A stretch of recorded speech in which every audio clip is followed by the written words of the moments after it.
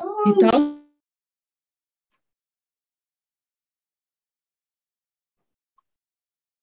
Right. Uh, Dr. Prashant, can you hear? Yeah. Right. Okay. So we'll start. Uh, good morning, everyone. Uh, welcome to the third day of uh, pre-intern training. So today we have lined up some very interesting uh, topics for you in collaboration with College of uh, Emergency Medicine of Sri Lanka. We thank uh, Dr. Dhanji Samarajiva, the President of College of Emergency Medicine, for organizing the program tailor-made for the pre-interns because uh, this program was initially started at, under the Accident Emergency Care Project, training of medical officers prior to their intern appointments. So this, uh, this is a very important section, uh, session today we are having. So um, uh, first lecture is done by Dr. Prashant T. Prashant, uh, consultant emergency physician at uh, Base Hospital Panadura. So the, the team is approach to a patient in emergency medicine. Uh, over to you, Dr. Prashant. Thank you, Dr. Shan, for a kind introduction. And thank you for uh, Ministry of Health inviting us for this training the young doctors. So welcome. This is the third day. So today we are going to discuss mainly uh, all about the emergencies. So this is a schedule for today. So the initial approach to patient with the emergency, then advanced life support, sick child, and trauma resuscitation, evaluation of chest pain, and evaluation of shortness of breath, and evaluation of reduced conscious level. So this is a schedule for today. Can you hear me? Yes, Dr. Bashar, we can hear you. Right. So now we will straight away start the uh, presentation. So, so this is uh, this title being designed for approach to a deterioration patient. So any critical ill patient coming to the doorstep to the hospital or any patient, inpatient, you are a house officer, maybe in a medical ward or maybe in a uh, surgical ward or gynecops ward or pediatric ward, already in the patient, get, the nurses are calling you, the patient is very bad. Can you come and see? So any approach for a deterioration page and how you are going to sort it out. So before this, I would like to tell a story to you guys. This is a real one. So uh, when I start an internship, the first post, uh, so for first casualty day, I came for a rest in a maybe in a two thirty in the early morning. Then in, maybe in a 20 minutes after, maybe around roughly around three o'clock in the morning, I got a call. There is a significant burn patient comes to the department. Doctor, can you please come here urgent? Okay, then rush to the, the ward from the quarters. So the casualty ward, then I saw it's a massive, like maybe around 70 to 80 percentage burn a lady, young lady. She cl- claimed it's accidental burn, but it's doubtful about uh, deliberate self-harm or suicidal attempt. I don't know what to do. This is the first appointment, my internship just after the medical school. Uh, pass, having passed the exam with some classes as well, but still I can't remember what to do when you see a patient. So first thing what I do is I call my registrar. He's also in the middle of the sleep. He said, okay, okay, it's going to be very bad prognosis. Do the initial management, I will see in the morning. Do the basic management, I will see in the morning. I have, so what do you mean by the basic management? So I, I was clueless whether to go and read the book or read the lecture notes what to do or ask from someone else. So this is happen. I think every doctor will have a similar kind of story. So let me take you some um, some few cases for you guys. Make it very in interesting and the real cases. There is a 45 year old man is brought to your hospital with a severe central chest pain and shortness of breath. You are the intern medical officer on duty. No other history is available. Severely dyspneic, saturation is around 90%. Blood pressure is 210, 110, and very sweaty. What are you going to do?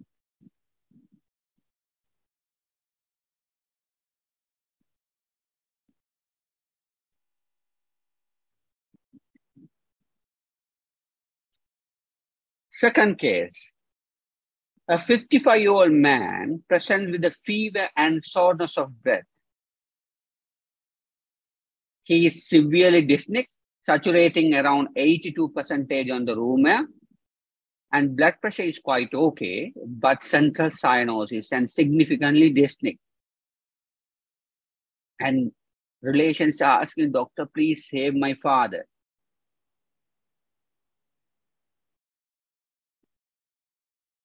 Poor in as a poor intern house officer, how are you going to save him?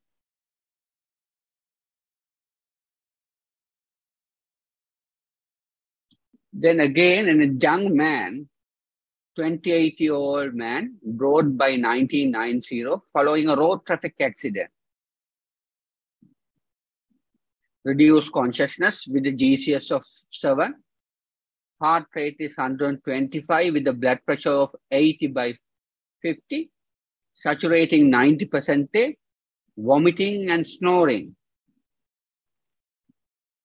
In front of you, this is not theory questions, guys. What to do, what's MCQs or SCQs.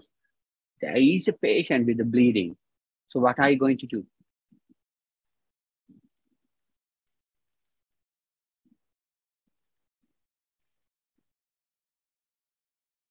A 55 year old man patient with this chronic kidney disease has been getting treatment for cellulitis of the lower limb in your ward, he suddenly become unresponsive. As an intern house officer, what would you do?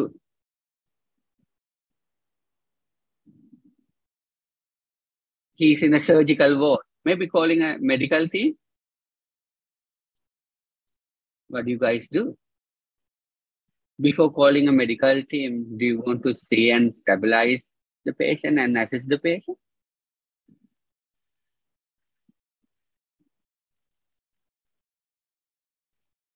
So, during this, the 40 minutes of lecture or another half an hour of lecture, what we are going to do is the general approach to any immediate life-threatening condition. That's called a resuscitation protocol or resus protocol. And this lecture, we will be reinforced and organize the theory, what you know, already know. That's the main thing. Most of you guys, you know the thing.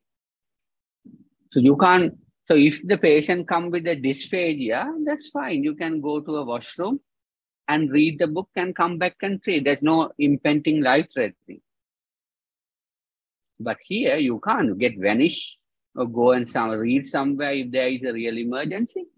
So you should be able to identify very uh, generic systematic approach that's called a resuscitation protocol.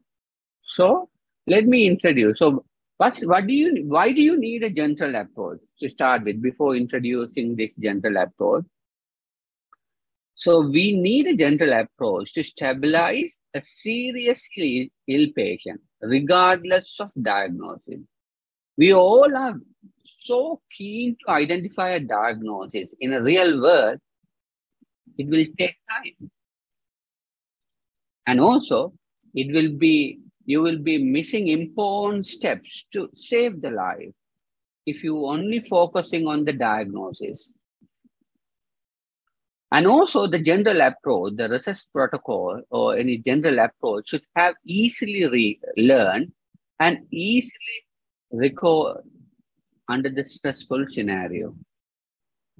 When it comes to emergency, it's very stressful.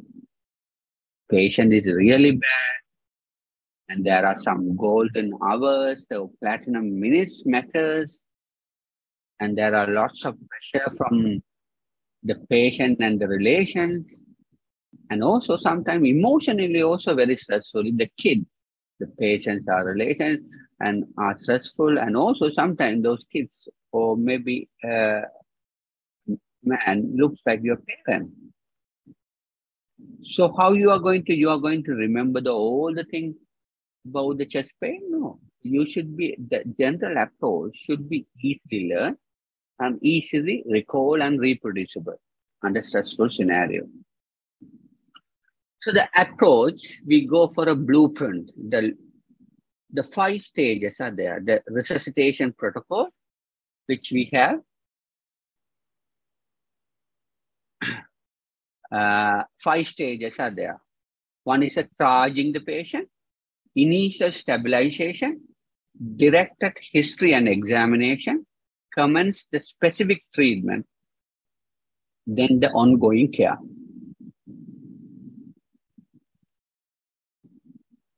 Five stages, the triage the patient, initial stabilization, directed history and examination, commence a specific treatment and ongoing care. So throughout this lecture, we will be focusing on this blueprint throughout the uh, today, the whole day, we will be focusing on this blueprint. What's the traditional mo model, medical model?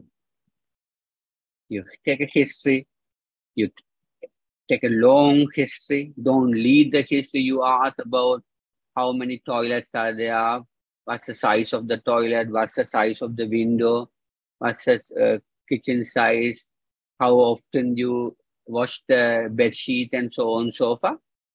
Then you examine and you do some, you have diag- differential diagnosis and you do text, some test or investigation to confirm your diagnosis and assess the severity and you start the treatment. Is it practical when you deal with a seriously ill patient who needs a time critical management? Sometimes you, you don't have anyone to take history. Can you do a all head to toe examination if the patient is struggling to breathe and about to die? in a peri situation? Can you have always the diagnosis? Answer is no. So this model, the old school model, is a non-emergent patient. Yes, the history exam and diagnosis or test and the diagnosis. But when it comes to emergency, when it comes to a seriously ill or critically ill patient, this model don't really work. So that's why we stick to this blueprint. So we are going to go one by one, all five stages. The first stage in the blueprint is triaging the patient. What do you mean by now in a hospital, you would see, you would heard about the triaging mainly in the mass casualties. This is not the that triaging. This is a hospital triaging. So now, almost most of the hospitals would have this triage. Why do you have a triage? To categorize a patient, to put the patient in an appropriate area. That means patient has to go to a resuscitation area or treatment area or patient can go to a ward. So in an appropriate area, you are allocate according to the category. An appropriate time, time of the treatment. Within 10 minutes, I have to treat this patient immediately. I have to attend within 10 minutes or within 30 minutes. So all uh, because all the patient, we are not going to see it at immediately. So we have to categorize to allocate the resources.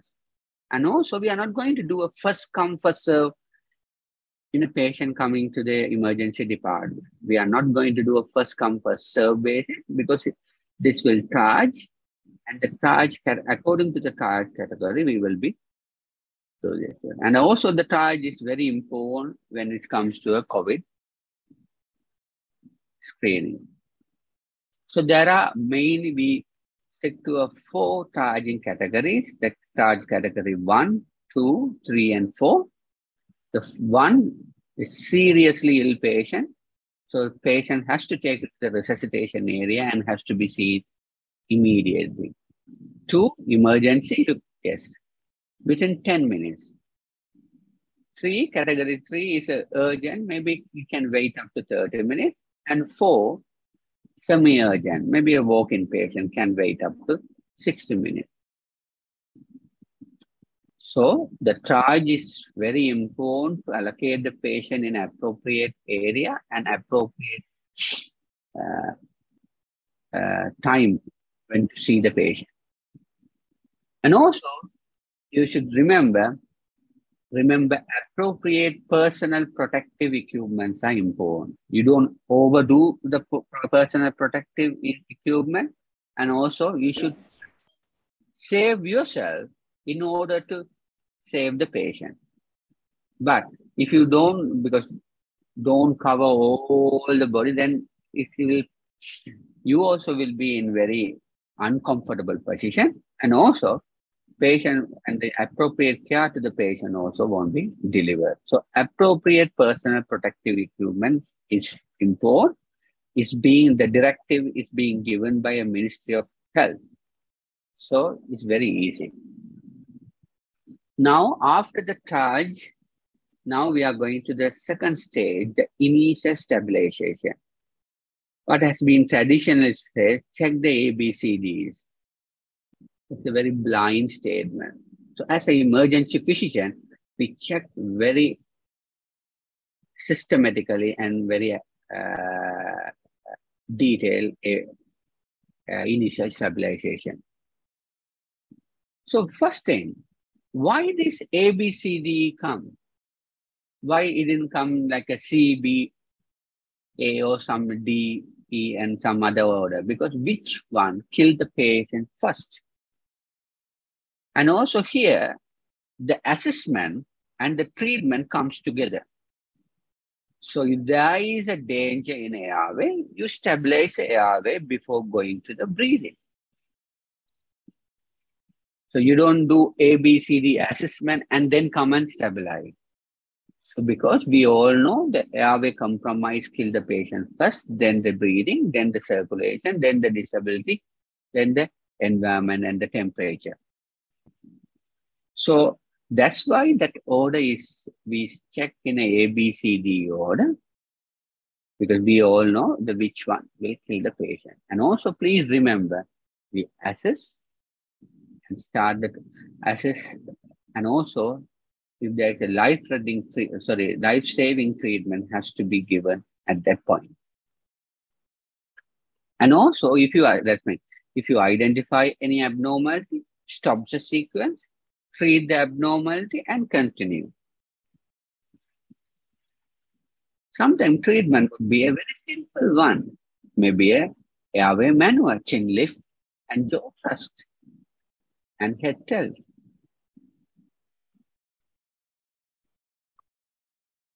And also, while assessing a patient, if the patient suddenly deteriorates in the midway, then go back from the beginning.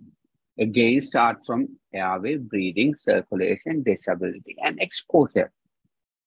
So reassessing a patient is very important in between if the patient deteriorates.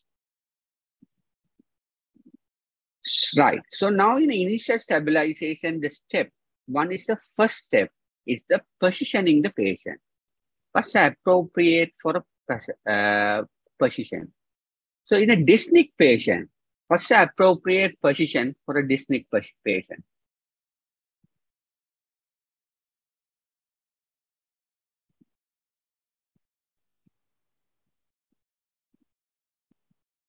You can discuss, you can tell answers we all know. Anyone one side? we all know it's a propped up position or sitting position or comfortable position. Why?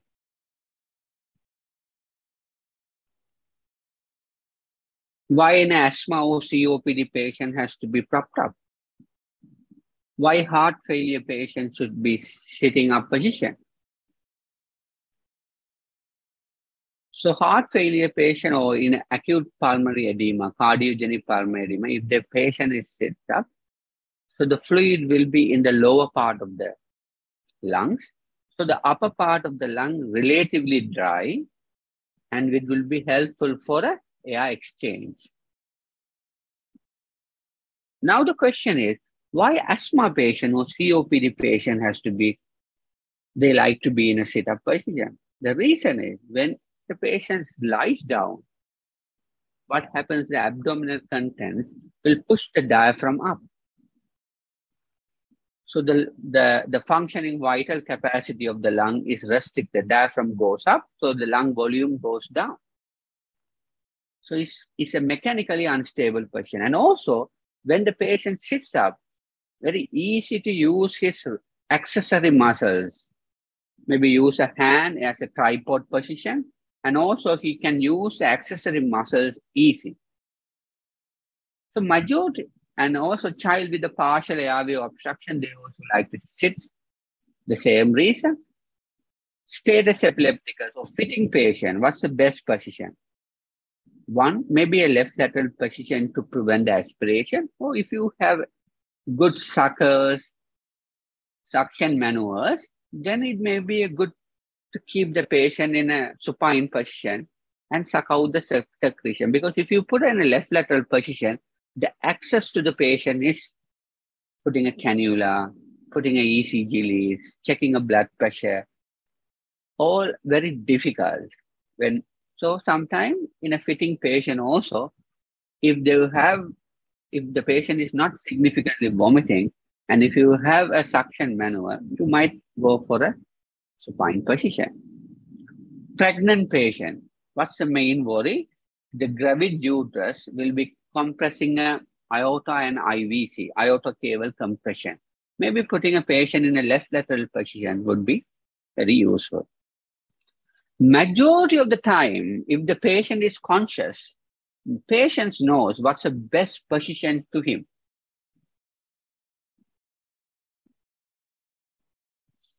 Right.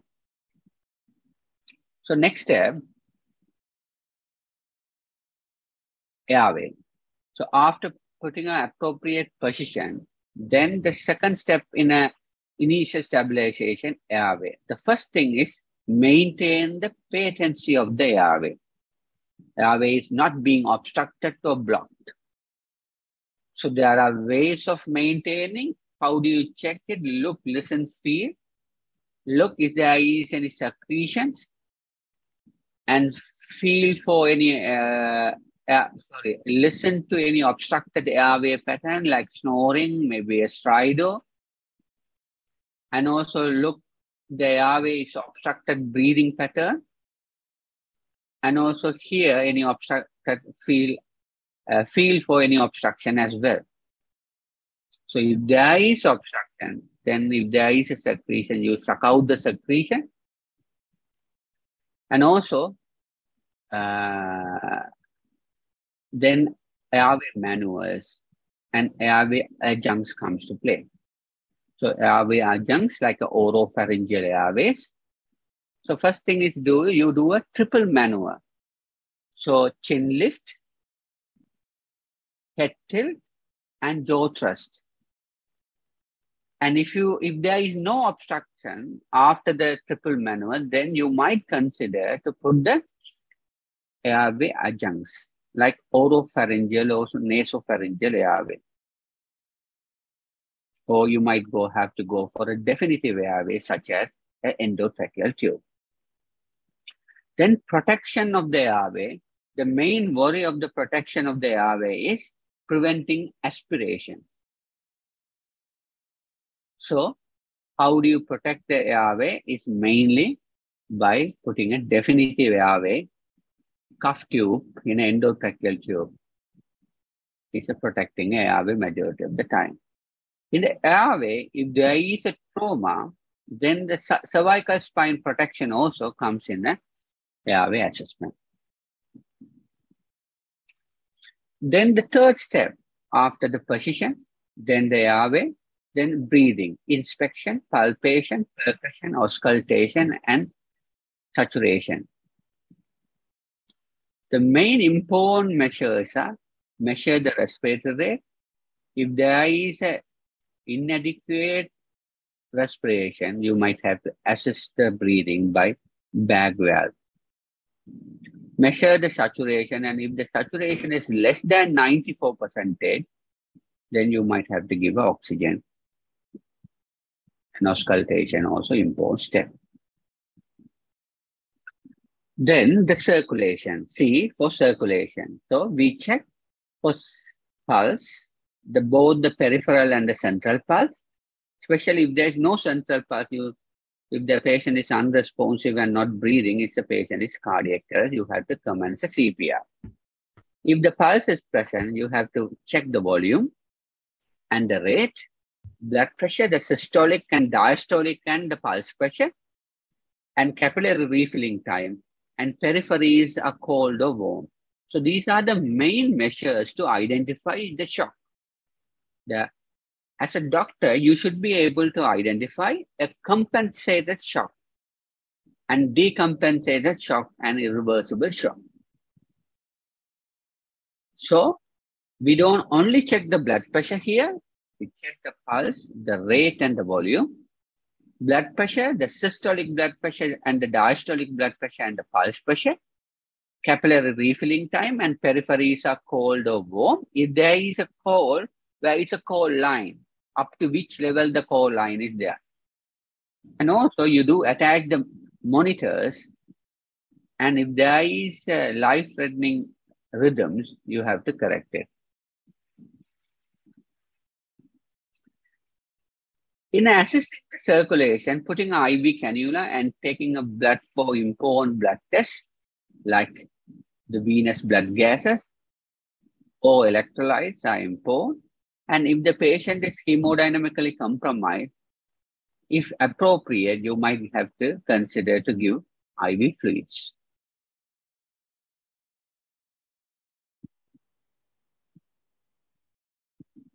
Once you stabilize the circulation, you move on to a disability.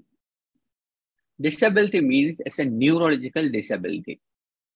So there are mainly three components are there. Pupil, both sides you compare the pupil size and also whether it is reactive to lights or not. The GCS, the Glasgow Coma Score, and the focal neurological deficit. The simply what you can, grossly you can assess the focal neurology, ask the patient to move all four limbs. So you can ask, ask him to raise the right hand, left hand, left arm, and left leg and the right leg. Separately, you can ask. This is a gross assessment in a initial stabilization assessing that would be helpful. If the GCS is less than 8, you might consider to go for intubating and protecting the patient. Why 8? Less than 8. Why not 9, not 10, not 5? How this magic number comes as 8?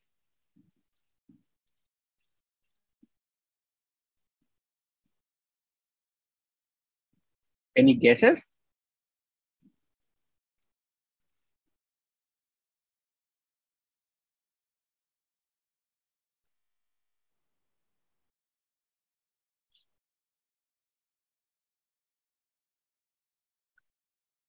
If you have questions or if you are reluctant to answer, you can type it.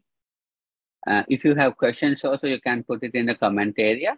So why this 8 comes is, when you have a low GCS, the reflex, reflex, so coughing and gagging reflexes also coming down, especially when it comes to a deep coma, where the, when the GCS is 8 or low, then the gagging and coughing reflexes absent so if there is a secretions in the airway, it won't be coughed out. So it goes to the airway and aspirate. So if the GCS low, less than 8, you might have to consider consider to go for a protecting airway for a definitive airway. So endotracheal tube or tracheostomy is needed.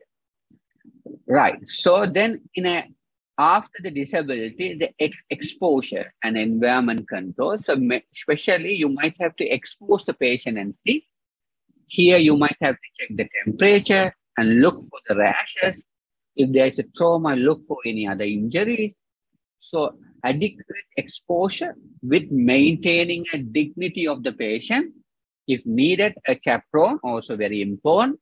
If you are checking opposite sex, sex or children, chaperone is very important. Appropriate exposure also important. We are not going to expose all the critical ill patient uh, fully exposed. If necessary, we will be adequately exposed. So that's also part of the initial stabilization. Looking for, sometimes you miss very important signs if you don't expose. And in the initial stabilization, other than the ABCD, measure, monitor, and reassess also comes. Measure the temperature and capillary blood sugar is very important. Measuring a capillary blood sugar. Major, sometimes we tend to forget, and it's a fatal mistake. Checking a temp, uh, checking a capillary blood sugar or blood sugar level, B, B. And monitor ECG rhythm, saturation, and the blood pressure is very important as well. And also, if you have any concern, or if there is a deterioration, reassessing a patient in a regular interval also important because if the patient condition is dynamic. It might change maybe in 10 minutes or 5 minutes or in a half an hour. Just because of blood pressure was normal, I say check the blood pressure normal, you can't tell. You have to reassess the patient. Once you have stabilized the patient only, you go for a directed history and examination. Main here, the main focus of the immediate illness, rather than asking lots of questions in a practical real world, you might be focusing on the disease. If there is a chest pain, you will be asking a detailed chest pain history, important history, and looking for some differential as well, looking for any contraindication for my treatment, and also you might be asking about the medical history and risk factors and medication history. Those are very important. So that's so directed history and examination is very important. And also you will be focused and you save the time. So always, I always tell interns and the junior doctors, before asking a history, an exam, you should be asking yourself why you are asking those things rather than just blindly asking the stuff. You might have to focus and ask about the history and exam. Then the commencing a specific treatment, identify, and the time critical ma management is very important because there are some example, if there is an acute coronary syndrome or ST elevation MI, the time is muscle. Sooner the treatment, the better the prognosis. So giving a dual antiplatelet, maybe thrombolizing a patient is very important. So time critical management is very important. So usually a standard is after ECG diagnosis, the patient should have a thrombolysis for a STEMI within 20 minutes time. And stroke thrombolysis. Again, time is a brain here. So we have to, uh, the earlier the treatment, the better the outcome. So the commencing a treatment, specific treatment is very important. Some antidotes for a poisoning is very important. Giving of fluids for a uh, septic shock patient. So likewise, the commencing a specific treatment or giving antibiotic for septic shock patient is very important. After so within a one hour, we have to give a broad spectrum empirical antibiotic. So the time critical management is very important. Then the ongoing care. So the, when there is ongoing care, please remember, reassess, reassess, reassess the patient. Because the patient condition is not static, it's dynamic. And also, you might have to think about when if the patient is in the emergency department or any accident and emergency or ETU, you might have to consider whether patient can be has to send it to a intensive care unit or general medical or surgical ward, or patient has to be transferred to a tertiary care center. If the patient is being transferred, you have to, before transferring a patient, you have to stabilize the patient. So that's one of the important steps. You can't transfer the unstable patient to tertiary care center because in, when you can't do much things while in the ambulance. Even you can't put a cannula while in the ambulance. You have to stop the ambulance. So you have to stabilize the patient before you transfer the patient. And also when you are transferring, you have to make sure all the instruments are ready. Adequate oxygens are ready. In case of normal blood pressure drop, do I have adequate IV fluids? So likewise, you have to have a checklist. Then handing over the patient, or oh, you that's very important. Or when you communicate with the other department, it's always very important. Most of our doctors, junior doctors, are lagging this handing over. The easiest step is a ISBAR, the mnemonic call is bar, I-S-B-A-R. I for introduction. So you introduce yourself. I am so-and-so. I am doctor uh, so-and-so and I am an intern house officer. I am I speaking to so-and-so? You have to make sure the receiving end also appropriate, correct person. You are talking to the correct person. Introduction. Then you tell the situation because sometimes you tell all the things the receiving end person clueless why he is telling. So I, I have a very unstable patient who is having a STEMI with acute cardiogenic pulmonary edema. I need your opinion on thrombolysis. You tell what's the situation and why I'm so situation is. Then the background history. What are the background like hypertension, diabetic, then the assessing the patient, what has happened and what's the assessment of the patient, and ask for recommendation. So I need this patient, your opinion or this one for thrombolysis. I need the ICU bed for this patient. So likewise the recommendation. So ISBAR, introduction, background, sorry, introduction, situation, background, assessment, and recommendation and the treatment which we, we have given.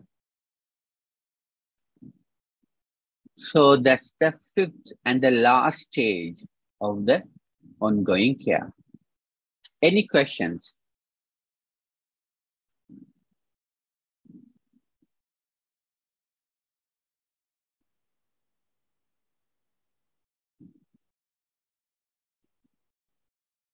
Can I get a soft copy of the lecture? Yes, we will be providing the soft copy. I will be sharing a comment area, so don't worry about that. Any other questions?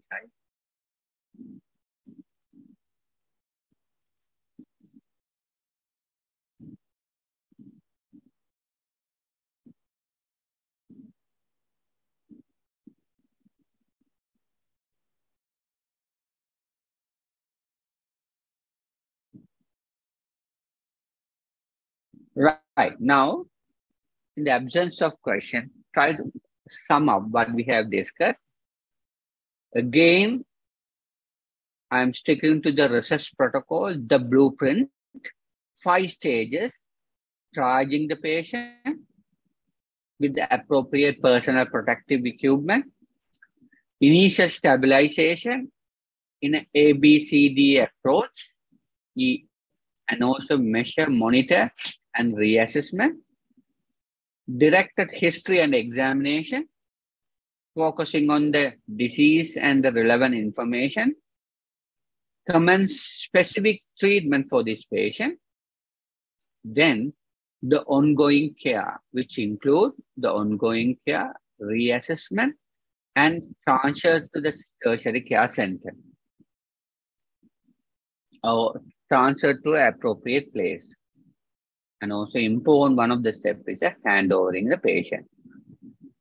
So the summary, this approach can be used by any doctor with a basic diagnostic skills and experience because it's systematic, easily learned, readily recall under stressful scenario. That's the most important thing. Whatever you learn, you might have a distinction in all the subject and first class. But if you can't recall, in a stressful real situation, it goes in vain. Majority of the time, that would be the case. You might know very fine detail about the SLE, but in an airway deterioration patient coming to you with a major trauma, lots of blood, hypo hypovolemic, you won't be able to save the patient. So very simple. If you stick to the blueprint,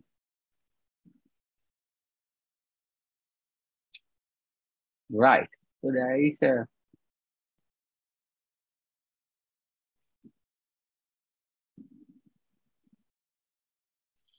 So there is a question is can you please give a brief management of each cases? The answer is I'm because my purpose of giving these four cases are not to discuss guys, just to just to thinking of you guys to get involved in this lecture and start the thinking process. Because detailed discussion of each cases will be will be deal with the real when you have a patient our main purpose of this lecture is a systematic approach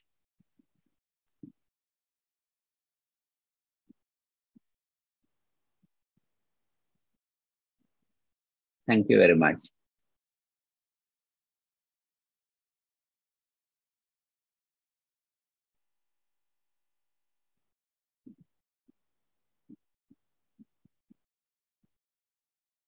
So next lecture is, uh, I will be sharing the uh, this lecture in the in a comment area, so you can uh, look at the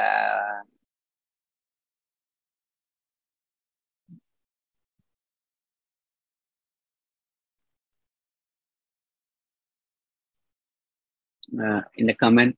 Uh,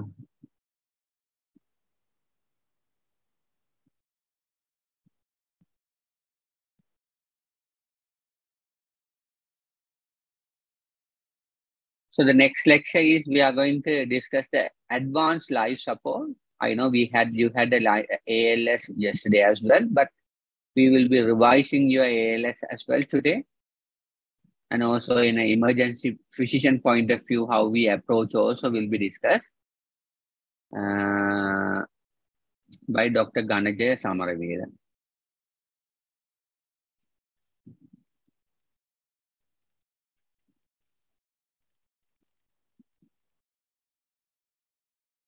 Ganaja, over to you.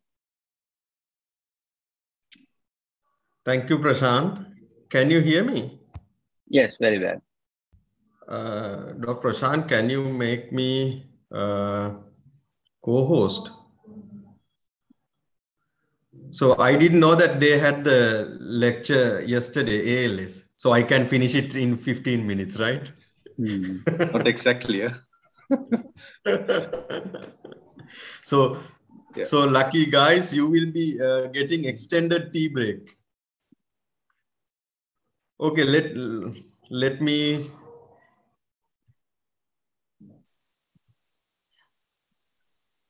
Okay. Can you? Is it okay? Can you see my screen? Yeah.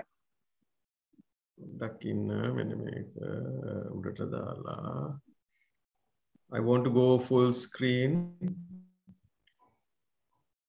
Right. Okay. Right. Thank you. Welcome to Advanced Life Support lecture. Uh, so I may ask some questions from you regarding uh, advanced life support. Let me see whether we are going as an alphabetical order or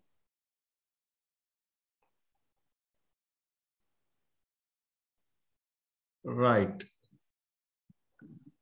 Bhatia, Bhatia, are you there? Bhatia Vendakon. Log වෙලා නිදිත් දන්න නේ. Nirasha Nirasha Ratnayake. Can you switch on your mic?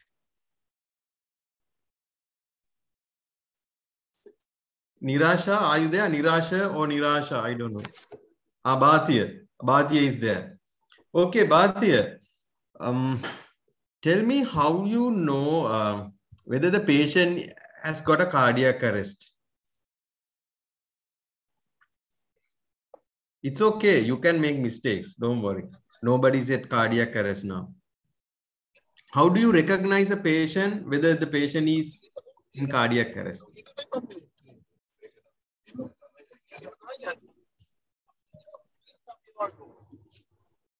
I can't hear you. You can type in, I suppose. If...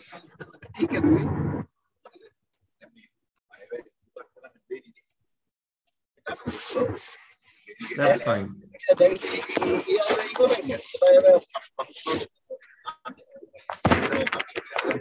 Never mind. Since the technology is obstructing our interaction, we will go back to the lecture, right? So we will talk about the chain of survival. I, am sure you must have uh, learned this. And then how to identify the cardiac arrest. And little bit on the box, they have some answers. Sorry? Box, they have answers. Ah, right. Unresponsive. No pulse, no breathing. That's wonderful. Sure. Thank, thank you, Bhati. Right and then uh, reversible causes, and then how you do the post-resus care. So I, I, am sure now you all are going to become intern house officers, right?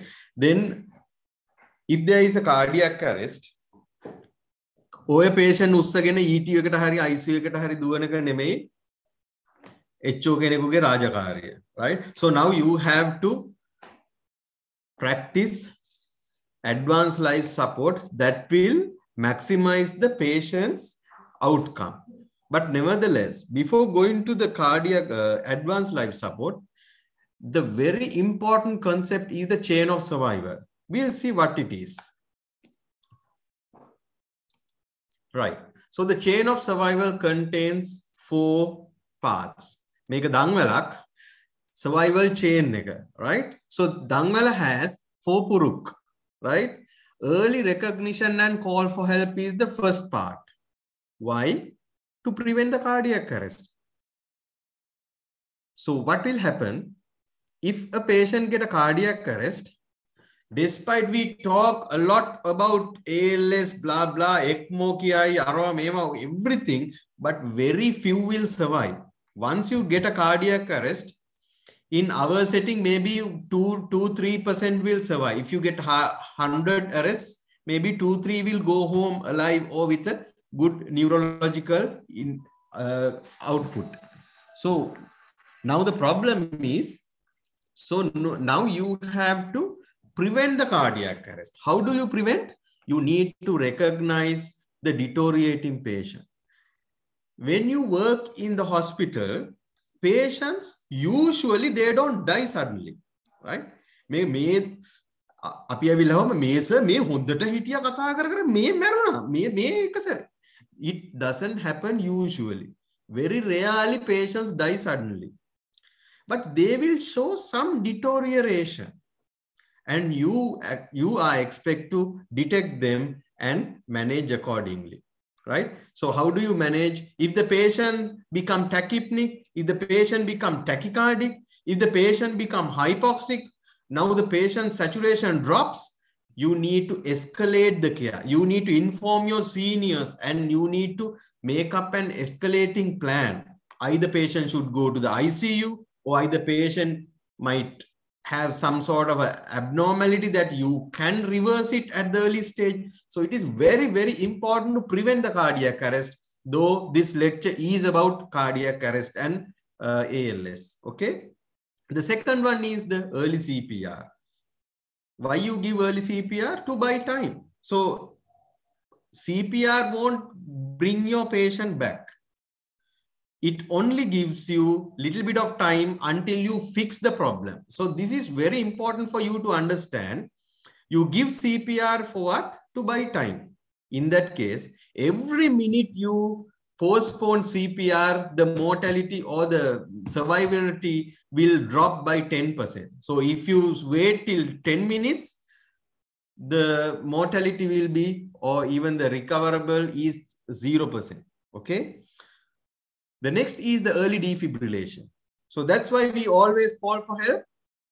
උදව්වට කට්ටිය ගෙන්න ගන්න මොකද හිතවත්කමට නෙමෙයි you need to get the defibrillator that is the mighty machine if the patient is indicated a shock you need to shock them early to restart the heart so that if the problem is an arrhythmia or a um, non-perfusing arrhythmia or life-threatening arrhythmia, whatever it is, you need to defib.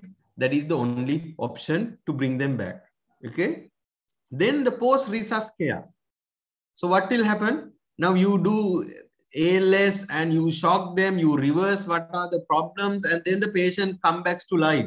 Now you can see the patient has pulse, right? You can see the brain is gray color අලුපාට brain එක now brain become light blue at least the brain එකටත් ලේ ටික ටික යනවා right so දැන් මොකද කරන්නේ okay මිස්ලා එහෙනම් මෙන්න මෙයා හරි pulse තියෙනවා. මම canteen එකට ගිහිල්ලා තේ එකක් බීලා එන්නම් කියලා you go that is not the way. You need to give the good post resus care to restore the quality of life. Or even otherwise if you don't give a good post resus care the patient will go back to cardiac arrest. Simple as that. එතකොට මේකට chain එකක් කියන්නේ ඇයි? මේකේ හැම part එකක්ම it should be equally strong for the chain to be strong. මේකේ තුනක් විතර හොඳටම strong වෙලා එකක් weak නම් then it is not going to help the patient. Okay. The next, I'm sure this is what you may have been learning. So if the patient is unresponsive or not breathing normally, මේක කොහෙවත් කියලා නැහැ pulse අල්ලන්න කියලා right? But Bhatia said, you check the pulse and there's no pulse. ඒ මොකද එහෙම වෙලා තියෙන්නේ? බාතියට වැරදිලාද? මේ ALS team එකට වැරදිලාද? Anybody want to answer? චරිතා කළුපහන, චරිත කළුපහන or චරිතා කළුපහන? This is the advanced life support algorithm, but nobody says here, you check the pulse to start ALS. But you look for unresponsiveness and you look whether the patient is breathing normally or not.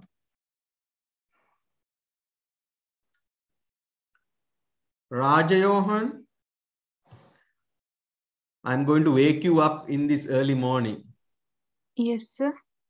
Yes. Why does it doesn't say to check pulse? But hmm. Bhatia said you check pulse, no pulse, no breathing or no abnormal breathing and unresponsive. හැබැයි මේක කියලා නෑ. It doesn't show it here. Why? Any idea? Any guess? Good guess? Uh, even if it is a weak plus we should not waste time on checking the pulse uh, to start the resuscitation uh, to exactly the exactly. So you check. මචන් pulse තියෙනවා වගේ නෑ මචන් නෑ pulse නෑ. නෑ මචන් තියෙනවා. නෑ මචන් නෑ right? So what will happen? You are going to waste fair bit of time sometimes the patient will have very weak pulse that you might not palpate. But of course if you are confident on whether the, if the patient has pulse then no need to start uh, als that's quite understandable. But if the patient is not breathing normally and if the patient is unresponsive, it says to take it as cardiac arrest. But usually for healthcare providers, we always instruct them to check for pulse and see whether. If there is pulse, but not breathing, it is not the cardiac arrest, but there is a respiratory arrest. right? So then you may bag the patient and give manual ventilation. Okay, right. But if you're not sure, don't waste time on palpating the central pulse. You immediately start ALS, which include bag and valve as well. okay, we'll come to this later. So how to confirm the cardiac arrest? As you guys correctly said, you look for the responsiveness. Katakala balnoy, Siripala, Siripala, Siripala is not responding and you look for breathing. So nowadays we don't go this closer to Siripala's mouth because of the thank to COVID, we are maintaining little bit of one meter distance, one meter at least. We will but carefully look whether the patient's chest is rising or not, right? But we don't go and feel the breath. We call this look, listen, and feel. We won't listen the breath unless we wear proper PPE. But I, I think now it is not necessary. You don't want to get uh, infected, not even COVID, even TB. So no need to go this closer, but check carefully whether the patient is breathing. But the same time, this woman or this girl, I would say, hold on, I will get my, uh, oh, I'm this girl is checking the pulse. එතකොට මෙතන බලන්නේ කොහොමද? Trachea is in the midline. Then you see the sternocleidomastoid here. Between sternocleidomastoid and the trachea, you palpate for carotid pulse, right? Whatever the central pulse, which is easy for you to check the carotid pulse. Before that, of course, you need to open up the airway. Maybe patient is not breathing because his airway is obstructed. So what they have done is they have done a little bit of chin lift, right? And open up the airway and check for breathing. Agonal breathing will be considered as cardiac arrest. You all know that, right? Then what would you do? If the patient is on cardiac arrest, you cannot run this show all by yourself. Then what you have to do is call your colleagues, call for help. call for help කියන්නේ මොකද්ද? මේකේ මේ drama එක බලන්න කට්ටියව ගෙන්නනා නෙමෙයි. You ask them to bring the mighty machine that is the defibrillator as well as you might need more team to continue the resuscitation. Okay. After that, you start CPR. You know it is 30s to 2 for adults. You give 30 compressions, then you give two breaths, right? always when you give breaths you stop chest compressions and allow the person who's giving breaths to give a good chest expansion මේක දෙන්නම් වාලේ breaths දීලා වැඩක් නැහැ make sure the patient's chest is coming up or moving or the air is going inside the lungs so that will gives a chest expansion so while you are giving chest compressions stop for two seconds and the person will give squeeze one, squeeze two, right? So it should be 30s to 2. Each compression, make sure you give in the correct side. The correct depth should not go more than 6 centimeters.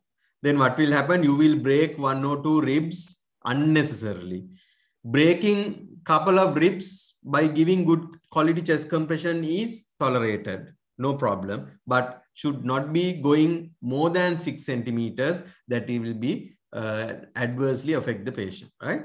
So nearly two per second, that is 110 per minute, that is the ideal.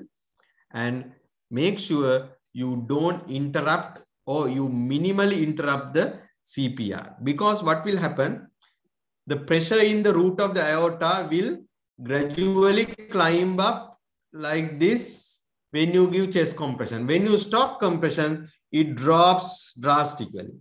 But as soon as you start chest compression, it doesn't come up to the whatever the level. It slowly come up and it needs to build up over maybe 10, 15 seconds, right? So each uh, interruption will drop the aortic root pressure right? So that is why it is indicated uh, for uh, to uh, do the interruptions. Of course, you have to do interruptions, but minimize the interruptions as much as possible, right?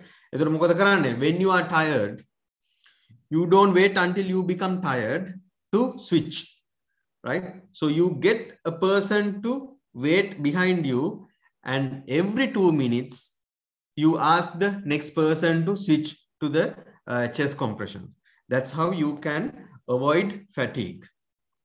Okay.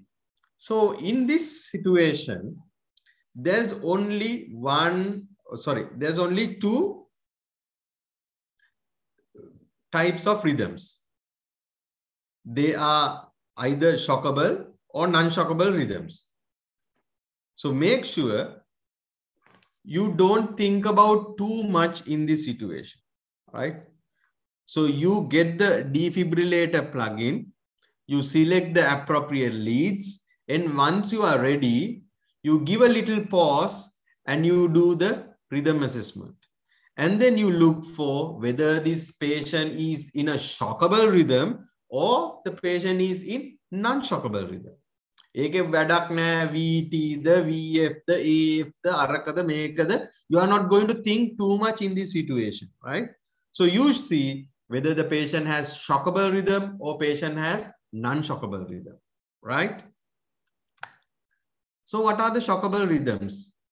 First thing is the first one is the VF. You know, It's a bizarre irregular waveform. There's no recognizable QRS, but little um, broad, right? But it's just a bizarre rhythm. There's no coordination. It could be fine AF or it could be a coarse AF, right? So it could be little one, or it will be like a coarse A, uh, sorry, coarse VF like this. I'm sorry. So what will happen if nobody shocks this patient? It will generally gradually become fine VF and then it will become a asystole or the straight kind of line. The next one is the VT or the ventricular tachycardia. This is a pulseless VT. You have two types of VT. One ventricular tachycardia, the patient is alive patient has pulse. but this uh, shockable VT or the pulseless VT, the patient is dead or the patient is not responding ideally. It is a broad complex rhythm. It is rapid, but constant QRS morphology. When it is monomorphic, if it is polymorphic, it is, it is organized, but it's not id identical to each other, right? So whatever it is, these two are shockable rhythms. So if you see either this or this, you don't have to see tell whether this is a VF or a VT. You simply say it is a shockable rhythm because what all you do is you shock the patient. Simple as that. Okay. So how do you shock? So you do the rhythm analysis. Now you recognize it is a shockable rhythm. So you need a little bit of time to get the defibrillator charge and put gel and things like that. So the meantime, as I said, to minimize the chest compressions, you immediately start chest compressions. So while continuing chest compressions, so you take the oxygen away. Some people, you know, debate about this. If you don't like to take the oxygen away, I don't mind you don't take the oxygen away. And you charge the defibrillator, right? while continuing chest compressions, you charge the defibrillator and you apply gel on the patient. Once the charging is completed, it will give a continuous beep sound. Then only you ask the patient to stop compressions or simply you say hands off and you immediately shock with a quick safety look. Make sure there's no one is touching the patient, right? But once you shock, immediately you start compression like this. You assess the rhythm. Now you know it's a shockable rhythm. You restart CPR. And while giving CPR, you charge. And once you charge, you ask the patient uh, provider to take the hands off and immediately deliver the shock. And you start chest compressions. Okay. But throughout, you need to minimally interrupt the chest compressions. So what will happen if you continue to do this? You deliver the shock, you continue CPR for two minutes, then you again check the rhythm. If it is again shockable, you give another shock, but you can go for higher energy. Maybe I usually go for the maximum energy after the uh, from the second shock because I want to get the heart as fast as possible. Um, and once you give three shocks, this is the time for you to go for adrenaline and amiodarone. They all are boluses. You push, push, push, okay, with a flash. If it is an unshockable rhythm, simply what you do, you continue chest compression because it's a non-shockable rhythm. What are the shock non-shockable rhythms? First one is the asystole. Make sure it is not a straight line if it is a straight line, it could be a lead disconnection, right? So some some um, uh, defibrillators might give a straight line, which is unlikely to be the asystole, which is most likely due to a lead disconnection, right? So make sure the leads are connected and then re-evaluate. Okay. Sometimes you see P waves only. මෙතන පොඩි P waves චුට්ටක් අතරින් පතර පොඩි P waves ටිකක් එන්න පුළුවන් but that again take it as asystole so the other one is the pulseless electrical activity P P කියන්නේ කඩල right pulseless electrical activity pulseless electrical activity if you see this ECG only you will see the patient is not dead patient should be alive but actually there's no pulse so you have the electrical activity but there's no pulse so any rhythm that that looks like a perfusing rhythm, but actually there's no perfusion, you take it as a PEA. So they all are non-shockable rhythm. So if you see a rhythm, anything like this, there's no pulse, you take it as non-shockable rhythm. What do you do? You immediately start CPR, but of course you start with the adrenaline 1 milligram, 1 in 10,000. So you dilute it up to 10 times and give a as a push IV dose. So the during CPR, these are the things you have to uh, check or you have to uh, continue while giving CPR. Of course, the high quality CPR, we talk about rate, depth, and recoil. And you need to plan actions before interrupting CPR. So if you need to get the adrenaline now you have been sh given sh three shocks now you know actually you have given two shocks after the third shock you know now you are going to give the iv adrenaline so by the second shock ask one of your nurses to prepare the adrenaline right don't wait till you finish the three shocks so always plan things beforehand and make sure you fix the uh, the bag and valve mask to the oxygen uh, source. Okay. Sometimes when you are so uh, stressed, you, you don't know that you haven't plugged in the oxygen tube to the cylinder, right? So make sure you have uh, connected to the oxygen source, right? Advanced capnography, if you have, it is wonderful. Consider advanced airway if you have a um, capable person only but otherwise, it is not important for you to get an advanced airway. Okay. It will uh, negatively affect the patient's outcome. If an unskilled person attempt airway, because as I said, you need to ensure high quality CPR. You cannot penalize high quality CPR only to sticker advanced airway, right? Chest compressions continuously you can uh, provide if you have an advanced airway or the endotracheal intubation, right? So we have vascular access. ටක්ගල නර්ස්ට කියනන miss කැනිවලක they jump on the patient and they will quickly get into the uh, cannula but make sure you instruct them to get a cannula once you start giving adrenaline, you can continue it on every other cycle, not every cycle. Okay. So that means three to five minutes and make sure you correct the reversible causes. We will check what are the causes that you can reverse. These are four H's and four T's. It's a mnemonic, four H's and four T's. Hypoxia, hyperkalemia, hypothermia, hypovolemia, right? So those are the four H's and the four T's, tamponade, thrombosis, toxin, and tension pneumothorax. So while you are giving chest compressions or you while you are adhering to the ALS algorithm, look for any cause that has made this patient to get a cardiac arrest, right? If the patient air entry is reduced on one side, or if it is hyperresonant, technically it's very difficult to check for hyperresonant, resonant, hyperresonant, there's no much difference, right? So if the reduced air entry, you suspect a trauma or maybe a spontaneous shortness of breath, you may stick a needle and release the tension. Simple as that. If the patient comes following diarrhea and uh, vomiting, could be hypothermia, start aggressive fluid resuscitation. Trauma, same, right? Hypovolemia can cause. If you are going to appoint to the Nuwara Eliya, a drunken person who was uh, stuck in a maybe a gutter or something last night could have hypothermia, but very rarely. Otherwise, the rest of the places, you might not get hypothermia in Sri Lanka.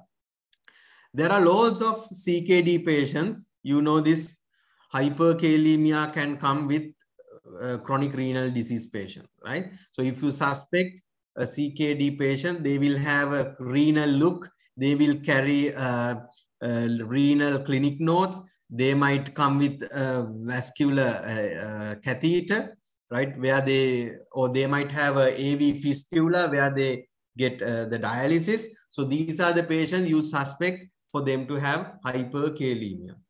Patients with hypo, hypoxia would be the fever, cough, pneumonias, right? They are the patient who can die of hypoxia, right? Thrombosis is the commonest cause for the cardiac arrest, that is the myocardial infarction, right? Mostly. Or otherwise, it could be the pulmonary embolism, which we might rarely see. But if it is thrombosis, what you have to do is you continue the ALS and get the patient back and then do a ECG and uh, confirm. Otherwise, if the patient is in cardiac arrest, you are not be you will not be able to get a, or diagnose a myocardial infarction. Okay. We talked about this. Airway, airway should be secured if you are going to uh, continue it little longer. නැත්තම් මොකද වෙන්නේ? ඔයා 30ට දෙකක් දිදී if you are going to drag ALS then it's not going to help because the patient will die of hypoxia. You need to give optimum oxygenation as well. So if it is dragging on, make sure you arrange a secure airway, at least a supraglottic. I'm sure you must have seen a laryngeal mask airway that is equally effective um, to use and it need a minimum training. You just need to apply it as a pencil and this is very um, studies have shown it is equally effective as a tracheal tube almost. Okay.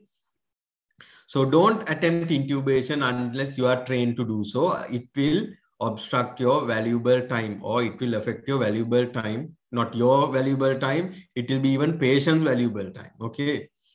Once the airway is secured you don't have to interrupt. 30s to 2 kiyanaka yanna when there's no definitive airway when the air is definitive airway, the chest compression will go at a rate of 110 independently and the ventilation will go independently at a rate of 10 to 12, right? Because the 10 to 12 is very important. You need to avoid hyperventilation, right? Capnography, if you are lucky enough to appoint as an HO with a unit, you have capnography, you can, but you will rarely be appointed. Right. So this is the post-resus care. You can't go for a tea or you can't go to a canteen once the patient come back to the life. What you do is you again do what the Dr. Prashant said uh, before this lecture. So you, if the patient has pulse or patient is alive, you do ABCDE approach. If the patient is dead or patient has on cardiac arrest or patient is unresponsive, you go on the ALS algorithm, right? So it's very important for you to treat the precipitating cause. Otherwise, patient will go back to the cardiac arrest. If the patient uh, got the cardiac arrest due to hypoxia following a pneumonia, of course, you need to ventilate the patient. I mean, intubate and ventilate and optimize the ventilation to prevent going back to the cardiac arrest. Similarly, if the patient's cause is the hyperkalemia, make sure you take immediate action, maybe insulin dextrose, calgluconate to stabilize the myocardium, and you arrange an uh, super urgent dialysis to reduce the potassium level, are the plans that you should come up with the post-resus care, right? Generally, you need to optimize the saturation. Initially, it might technically challenging, but you should be aiming the saturation of 94 to 98. Eh? And if you have CAPNO, wonderful. Make sure CAPNO is around 30s, right? Don't let the CAPNO to go beyond. It will add on to the acidosis of the patient and will have a bad outcome. Basics 12 DCG, targeted temperature නම් ඉතින් ලංකාවේ කරන්න ටිකක් අමාරුයි. Uh, just make there is an entity called targeted temperature management, at least avoid hyperthermia. Right. So this is very important to work as a team. If you come to the emergency department, you will see we always work as a team. In the emergency department, there's no mampora If we save patients or if we kill patients, we kill them as a team or we treat them as a team, right? So team approach is very important. So providing advanced life support is a team effort. If you don't have a good team effort, you cannot get these patients back. So what are the compositions or the contents of the team? You have team players and you have a team leader. The leader should come from the team. It could be the senior or the most experienced person, but the whole team should identify the leader and the decisions should come from the leader, but of course the team players can help the team uh, leader to make the decisions, right? And of course, the non-technical skills. So the non-technical skills are how do you interact with the team? How do you know the situation, right? What type of a patient got the cardiac arrest? What are the capabilities of my team? How I'm going to interact with the team? You cannot be too arrogant. Of course, you can't. Could you please start chest compressions? No, you simply say start chest compression, right? Because this is kind of a highly dynamic and stressful condition, right? So the way you communicate, the way you understand the surrounding, the way you understand the patient, the way you understand the team with you is all matters when you run a resuscitation with your team, right? I'm sure the structured communication may have been talked about in the last lecture, but anyway, structured communication is something that you need to practice, right? So this avoid errors. So this comes with a mnemonic of SBAR. S is stand for situation, B for background, A for assessment, and R for resuscitation right? So now you may have seen many, uh, many of our colleagues when we uh, present a case, this is a 45 year of uh, mother of three children coming from uh, Siyambalanduwa came. Today this morning she came from the bus to Nuwara and then uh, she took a taxi to um, hospital and then she felt hungry and then she went to the canteen and then she felt little sweaty and then but she sat down and then afterwards she complained of chest compl- chest pain but nobody was there. And then she suddenly uh, collapsed and found on the floor. And then there'll be a long story going on but what has happened the patient had a cardiac arrest which is out of hospital and brought to the A&E and was resuscitated. But the person is talking about a hell of a big background rather than telling the situation. So you start with this is the patient who had out of hospital or 32 or 56 year old man or a woman who sustained an out of hospital cardiac arrest now revived. So that is the situation. It's just like a headline of the paper, right?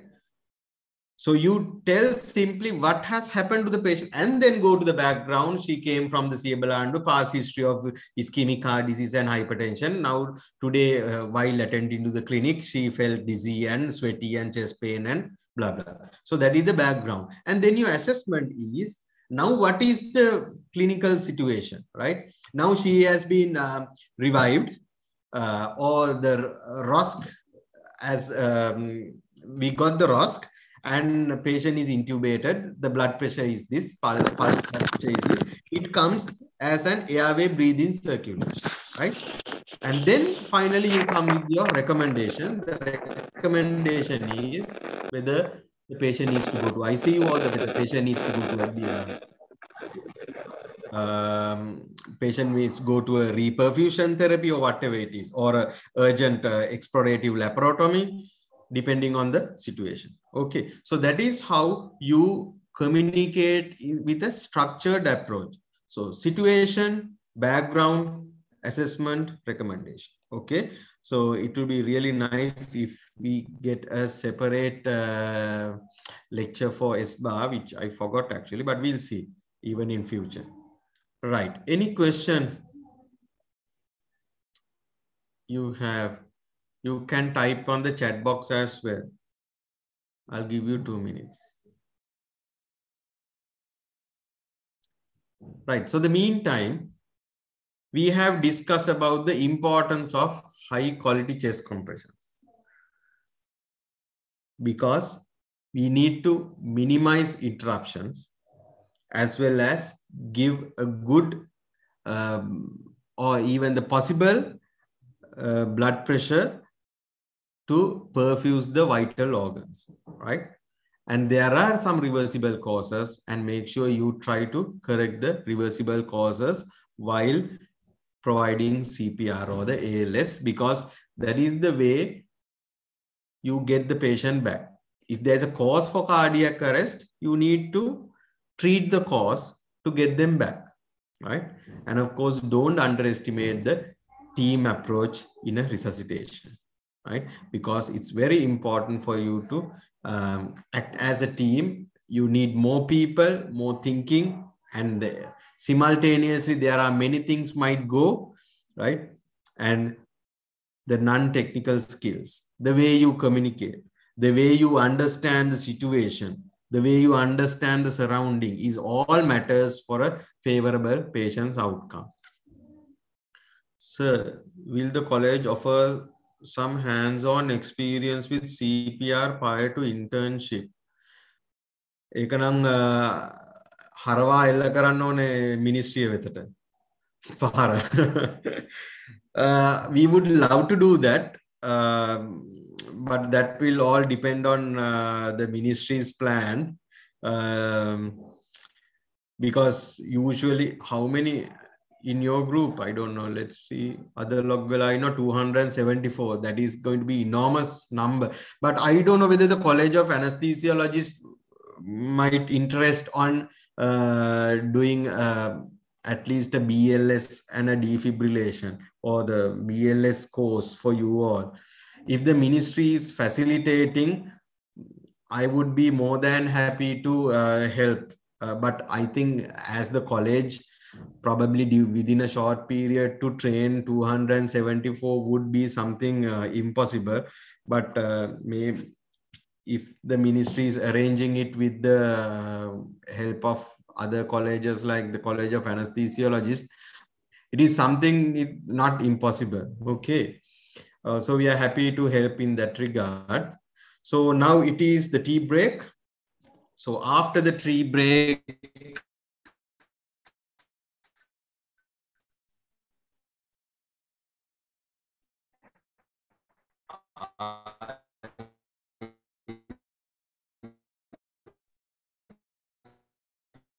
lecture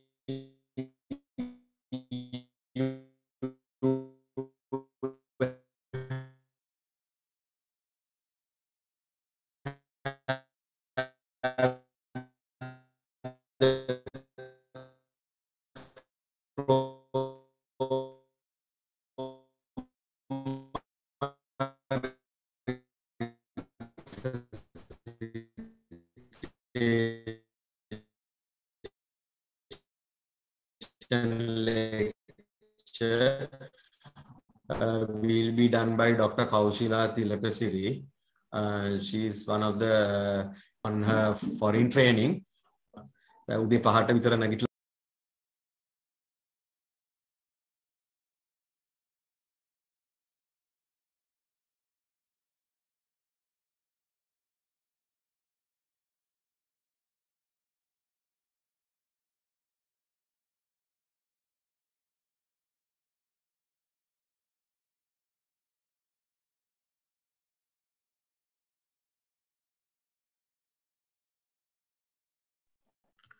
Sorry, the next lecture will be done by uh, Dr. Dylan Pasingh, the sick child. He is uh, one of the uh, consultant emergency physician at uh, teaching hospital, Colombo South Teaching Hospital, right? So now it is the tea break. And after the tea break, uh, Dr. Dylan will start his lecture.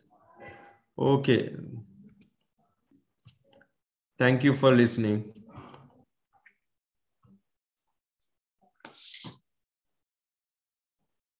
Dr. Roshan, over to you.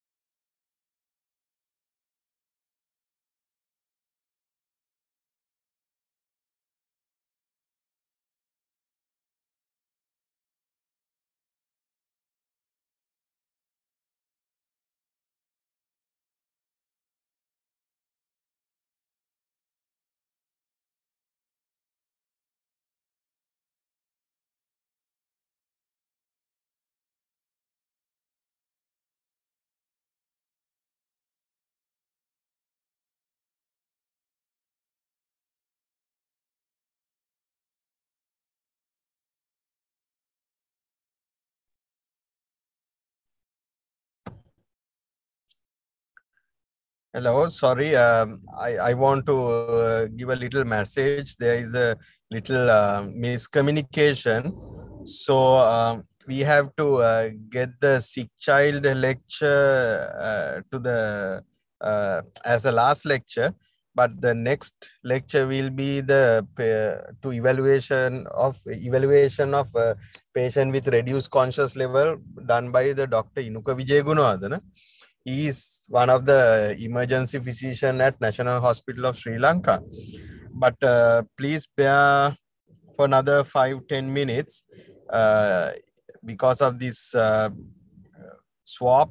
He might need extra five to 10 minutes to uh, fix his uh, laptop.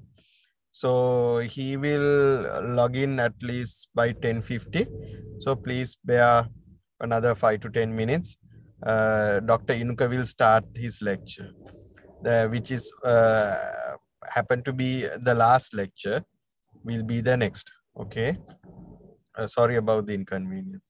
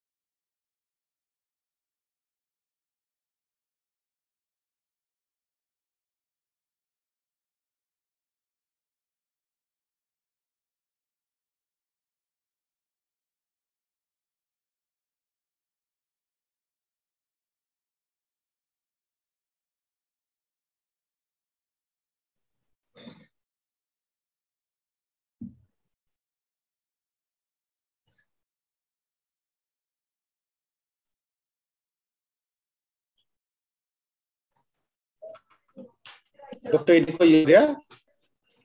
Yeah, yeah. I'm I, I'm uh, just now connected. This Inuka means that's you, no? Yeah. Yeah. Uh, give me a sec.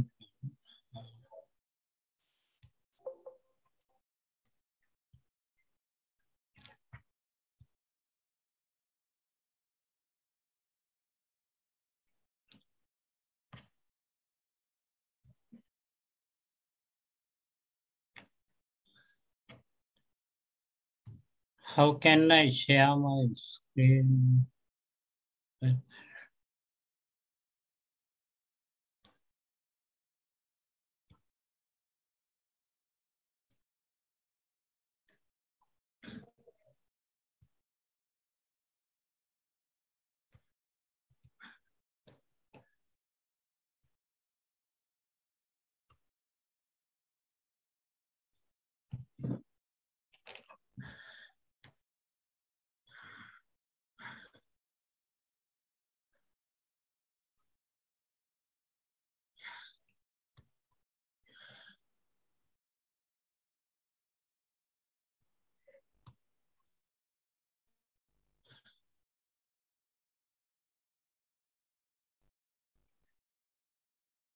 Is it? Uh, can you can see my slide?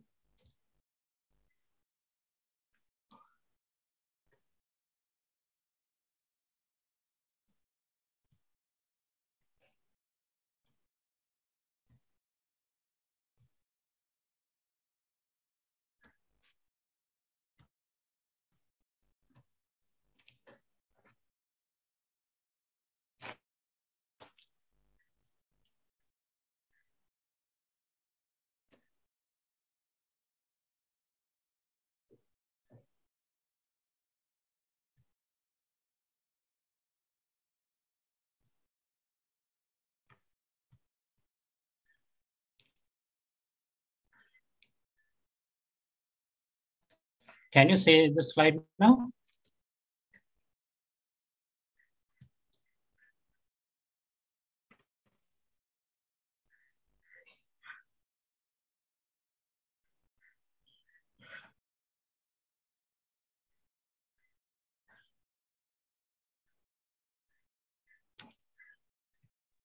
Yes, we can see. Yeah. You you can see now? Yeah, doctor. Shall I shall I start the lecture? Yes, please. Yeah. Uh, good morning, everyone. Uh, uh, this lecture is based um, basically on patient with reduced level of consciousness. And when we are uh, getting the patient with uh, management principle as a emergency, uh, as you when you are entering the house officer, at with how you're going to manage in the emergency setting in this type of patient. First of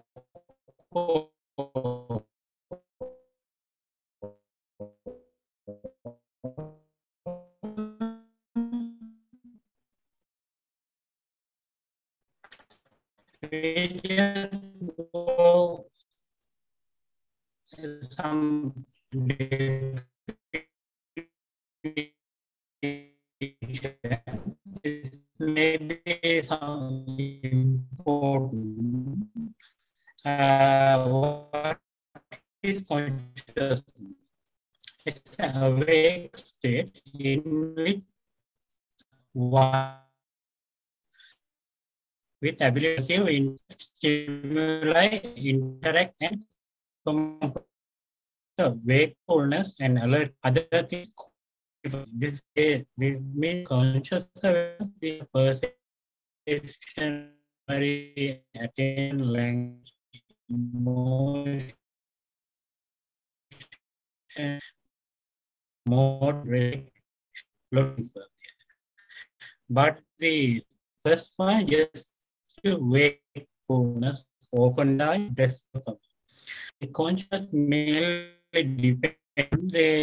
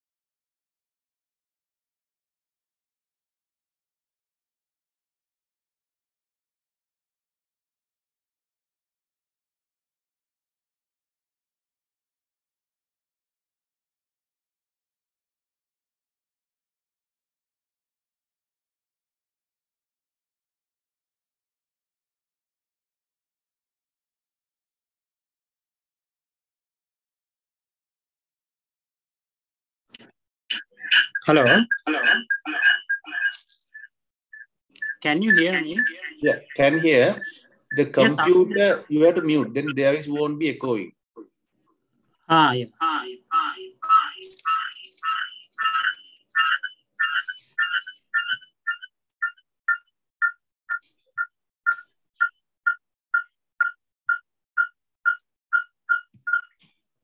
Now it's clear. Yeah, can you hear? Can you hear now? Yeah. Yeah. You can- see my slide as well.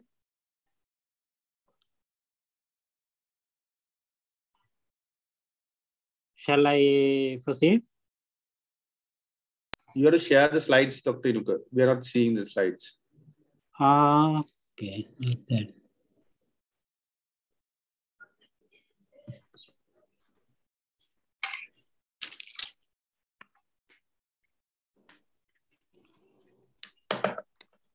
Okay, I will share screen again. Okay. Can you see now? Yes, just make enable editing on the top.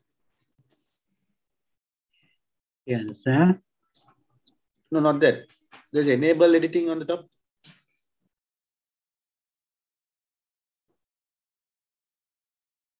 අර උඩ තියෙන්නේ අර protect view එක උඩ කහ පාටින් තියෙන්නේ.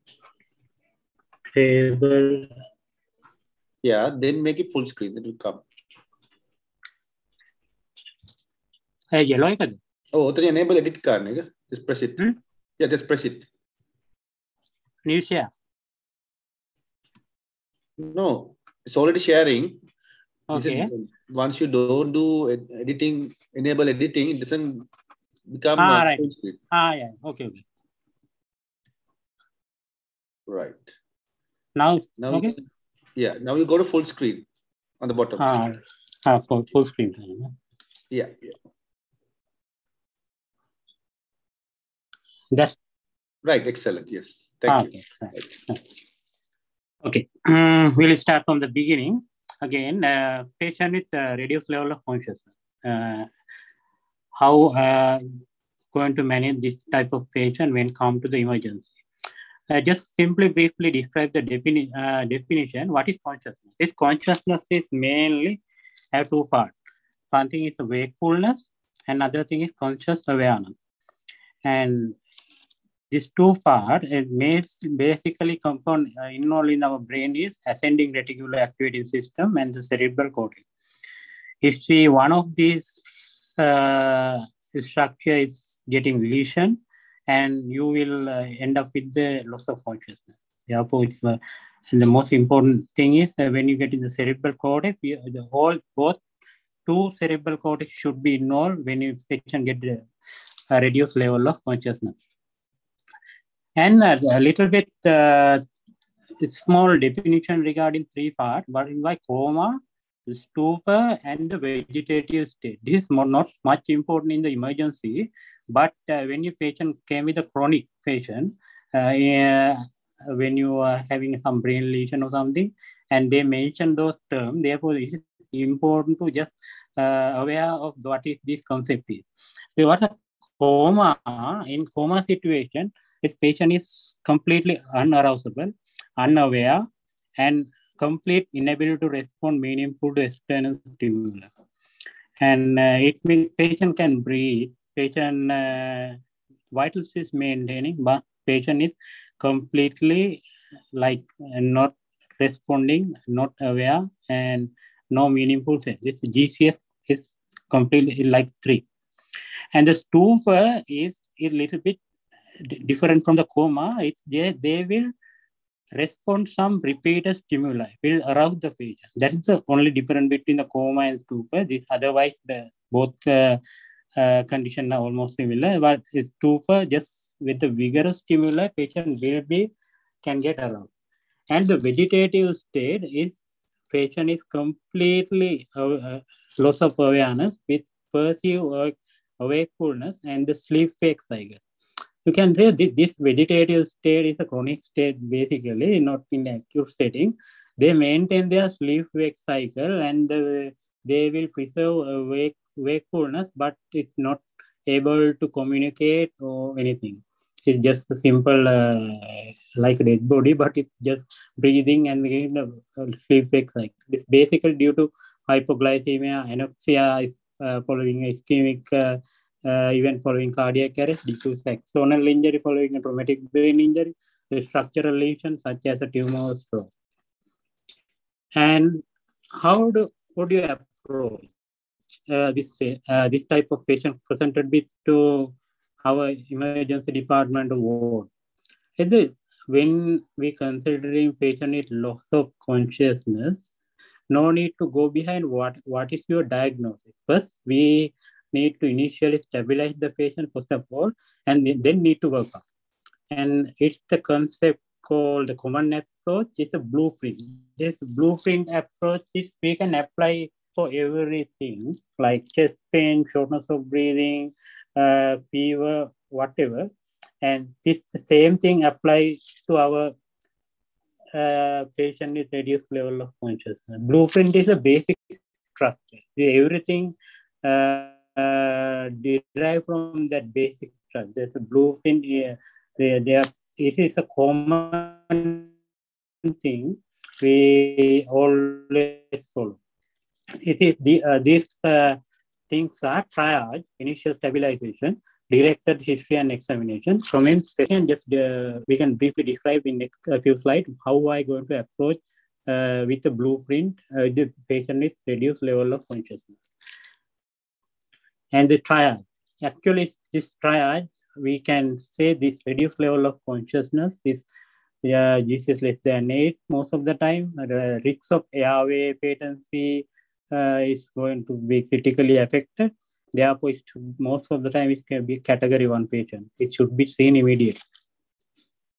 And initial stabilization with the ABCD manner and patient with reduced level of consciousness, you know, definitely patient tongues are fallen back already and uh, patient airway can immediately compromise and therefore we can keep the patient in uh, recovery position or in the even in the emergency keeping supine position is uh, okay because we have already uh, our staff is there we can prevent the aspiration in case.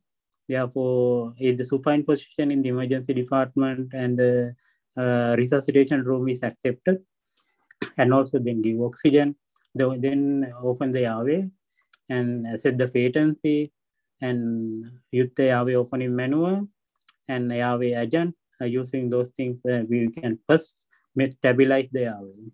And the cervical spine stabilization also a little bit important, but uh, uh, it's basically in the trauma setting. And just a simple airway manual, head tilt, chin lift, and the thrust. And the airway adjunct, oropharyngeal airway, and the nasopharyngeal airway. And then we, we need to look for breathing effort, the respiratory rate, how this is the tachypneic or any respiratory distress, and uh, other lung signs or saturation here, because in sometimes the hypoxia itself can lead, lead to patient unconscious. We need to clearly see whether it's not, the patient is not hypoxic or not. That's the, the when we checking methodically, when the breathing part, we we can clearly see we can clearly check whether patient is hypoxic or not. Then we can cater clear can rule out the hypoxia is not a cause for this patient uh, with a loss, uh, reduced level of consciousness. And then the circulation is basically hypotension, and tachyarrhythmia or something is related to the reduced level of consciousness, we need to assess and then immediately need to put IV access and we need if any IV fluid and take a blood sugar and the venous blood gas and electrolyte and basic uh, other blood for investigation in the circulation.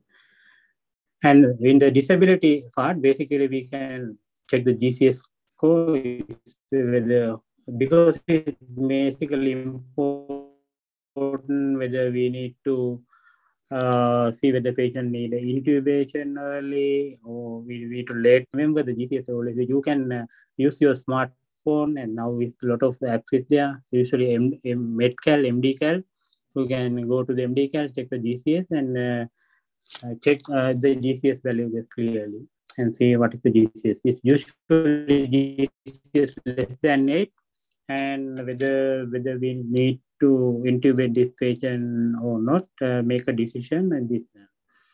And also we need to check the pupil response and the body habit like it's a decorticate, uh, or like and the then exposure. Exposure is the rash, trauma, and any wound and everything. And then we check, measure the blood sugar uh, and the temperature and the ECG and the blood gases and basically acid uh, acid base level, hypoxia or hypocapnia, and the electrolyte, especially sodium. So this hyponatremia can cause the reduced level of consciousness is important. And then uh, we can get a directed history and examination. and most of the time, uh, the history is not readily available because patient is unconscious and uh, unwitnessed uh, most of the time. And then we need to take uh, collateral history and uh, most of the time it's not available even this is alcohol or drug or fever history trauma history is something we, we need to get uh, take from the what whatever the eyewitness. And head to toe examination and the, the level of uh, other toxidrome features uh, yeah, the poisoning is maybe possibility. And then uh, we need to commence specific treatment for this, uh, this type of patient. And if you have hypoglycemia, then we can treat with the glucose. And this is in case of opioid, uh, like morphine, then we can the trial of naloxone and some antidote uh, uh, for we, uh, some uh, like uh, you can just see organophosphate poisoning, atropine like something, and then further imaging is need to do. And ongoing care is basically admit to the appropriate area uh, and maybe ICU, a neurosurgical ward or neurology ward or general ward with the ED facility. Maybe need to uh, do the ready site uh, with the ongoing treatment. And basically this uh, cause of a reduced level of consciousness uh, need to uh, decided gradual, it's later, not after approaching ABCD's manner, then we need to think about what is will be the cause. And basically, few causes is, is structural, metabolic, infectious, and the toxic, and sometimes coma maybe. Those are the basic uh, div- uh, division of uh, what is the causes, what are the causes for reduced level of consciousness. And the structural abnormality like uh, ICH, SCH, and massive brain lesion.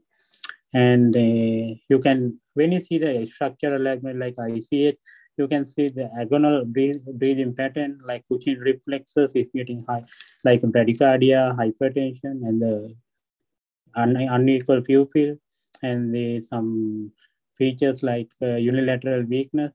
Those things are most common clinical signs and symptoms of uh, structural abnormality and the metabolic wise and basically blood sugar and uh, like the hypoadrenalism like Addison and the hyponatremia causes a lot of causes for hyponatremia. Those things can cause uh, reduced level of consciousness and the infectious cause is the most first we neglect those things most of the time because we don't know whether we have fever or not. But we have nuchal rigidity and history of seizure and the measured temperature is high or not uh, high. Sometimes even with the ICH and cerebral pathology temperature auto-regulation is going to upset and the temperature is low high.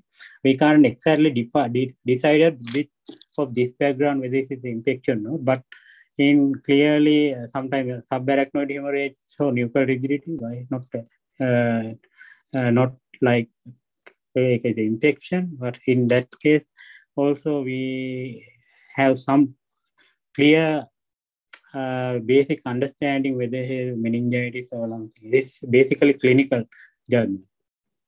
And the toxic, several toxic uh, things uh, can cause the reduced level of consciousness the sympathomimetic, anticholinergic, tricyclic, and uh, organophosphate uh, and uh, alcohol, especially, or and hydrocarbon, those things are there. And uh, next thing is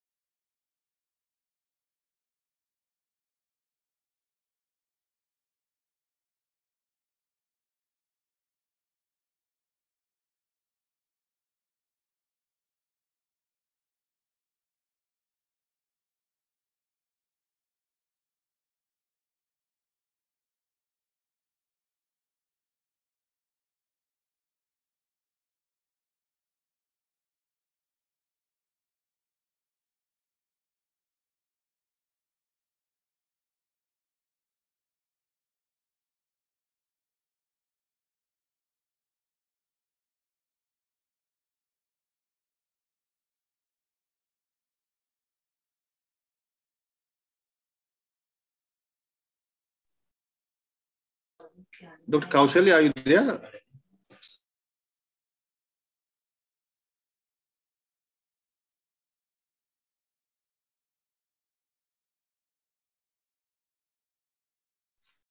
There's a small uh, technical error finding with Dr. Nuka. So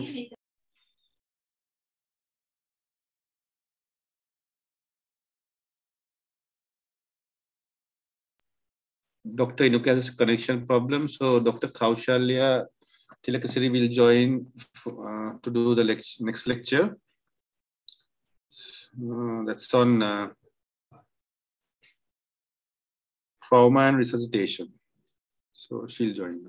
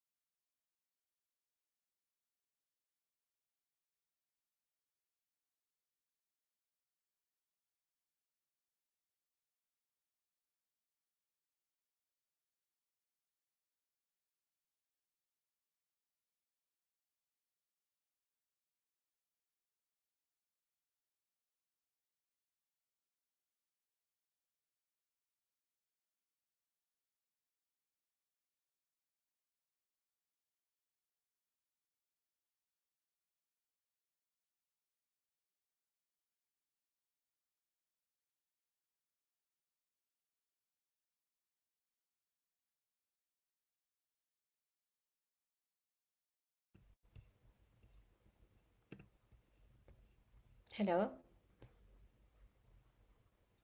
Hello? Yeah, Dr. Kaushal, you can start. Yeah.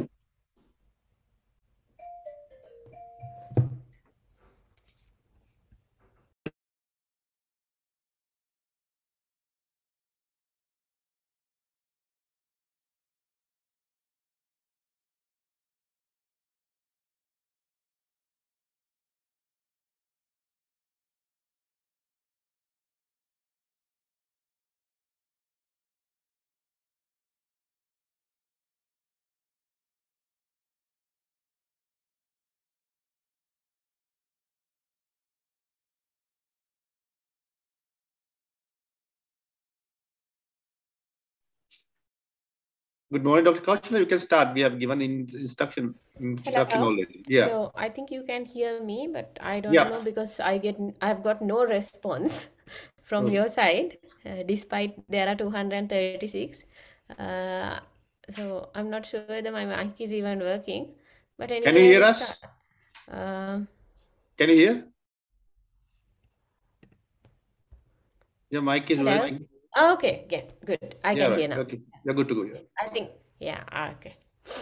Right. Uh, just a minute.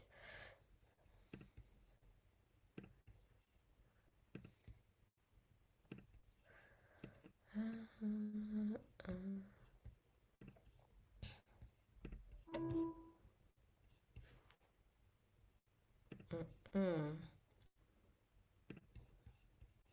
Yeah, I think I was mute. I had my um, speaker mute.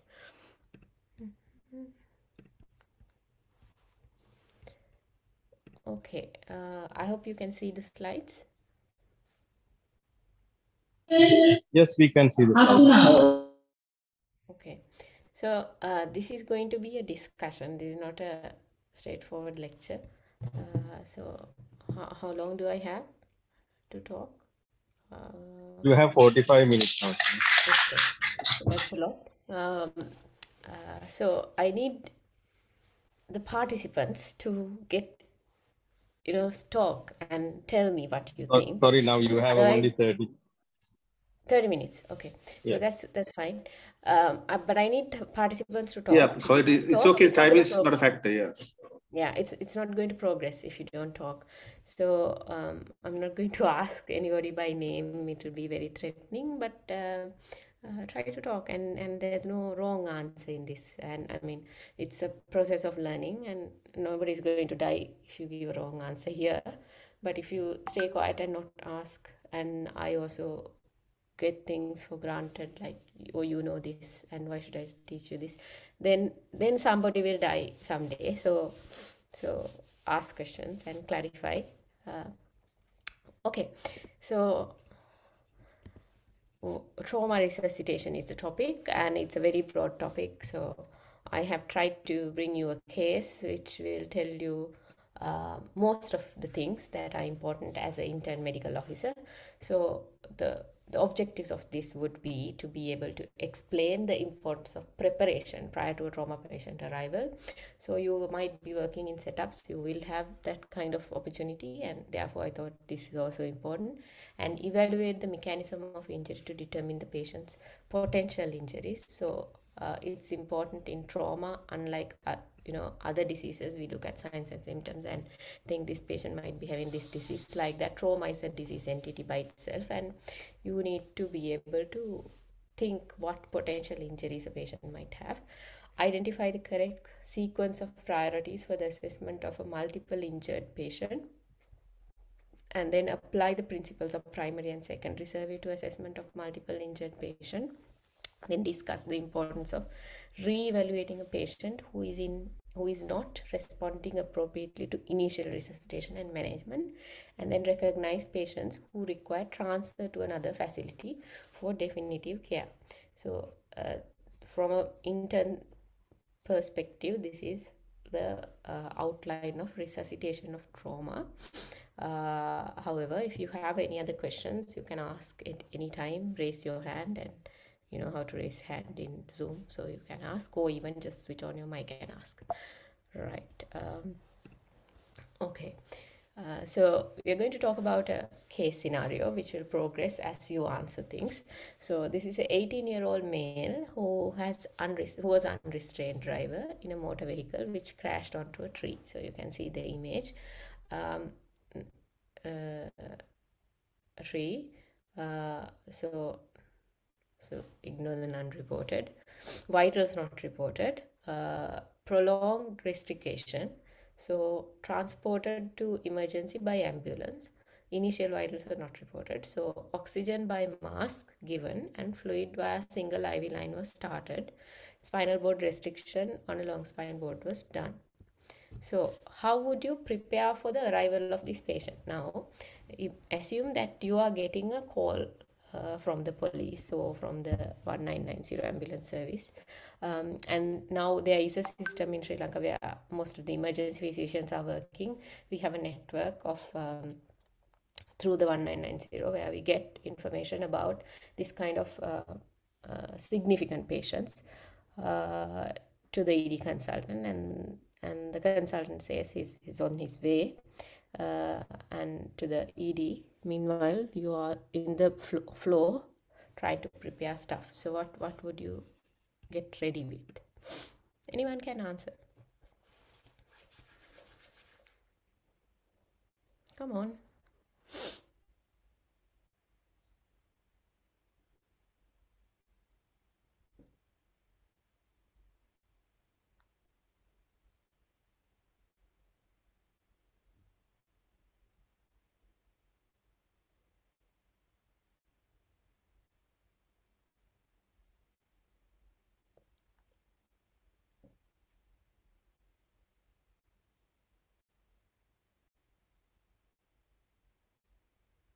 Okay, how would you prepare the arrival of a patient with trauma?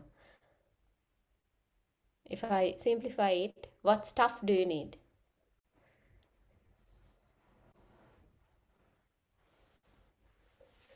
Hmm?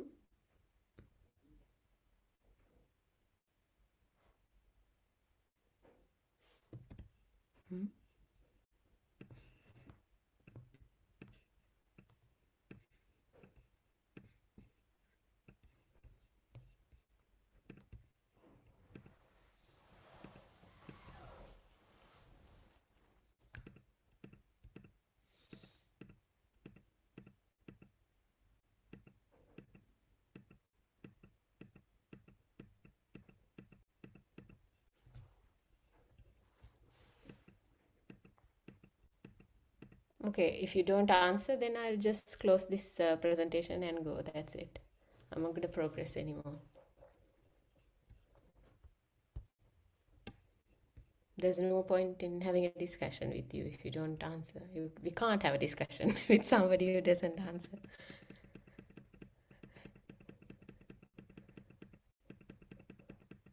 It just reminds me of a psychiatric patient who doesn't want to talk.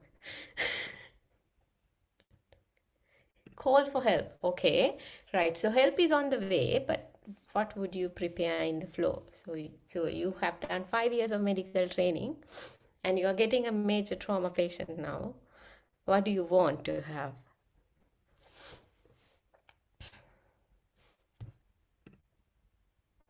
Yes other staff members okay? So if you have a formal trauma call to make then you can do that. That is you have previously arranged team that you can call which includes possibly anesthetist um, uh, a surgeon and um, blood bank you might need to call these persons but um, yes in, in in terms of equipment so somebody has mentioned adjuncts for ABC. So we don't call them really adjuncts. They are actually AB, uh, the equipment that needs to manage ABCD.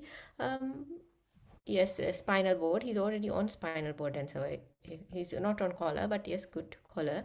So you you can have an emergency trolley. If you have emergency trolley, then that can be told straight away yes equipment for intubation iv fluid order blood products so i don't know if we need blood products at this stage but just inform the blood bank that you might need resuscitation team trolley need to be ready even a collar okay so i i don't know why you don't switch on the mic and talk. The nobody is going to find a error in you or in your answer. Please switch on the mic and talk. I don't like to be the only person talking. Uh, inform theater yes. If theater might be needed so we might need to inform theater. Okay so you will need equipment to assess and treat problems in airway breathing circulation disability and exposure. So what other information would be helpful to know in order to prepare? So what what information if you can get would you like to know?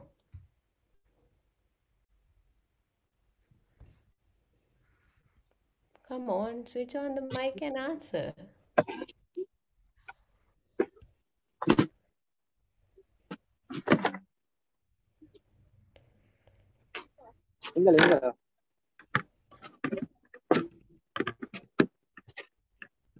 I think somebody accidentally switched on the mic. uh, what kind of injuries he has had got and any fractures and the mechanism of injury. Yes, very good. So the mechanism we know, which is uh, unrestrained driver hitting on a tree. Very good. You can ask what injuries he has. So, and then you also can ask the vitals if it was not reported, but you can ask them again if, if you can get some vital signs. So if there is a mnemonic for this. It's called MIST. It stands for mechanism, M, I for injuries, S for signs and symptoms, that is your vital signs, and then T for treatment, treatment given on the way. So those are the you can gather. Okay, from the history, what are the potential injuries to this patient that this patient might have suffered?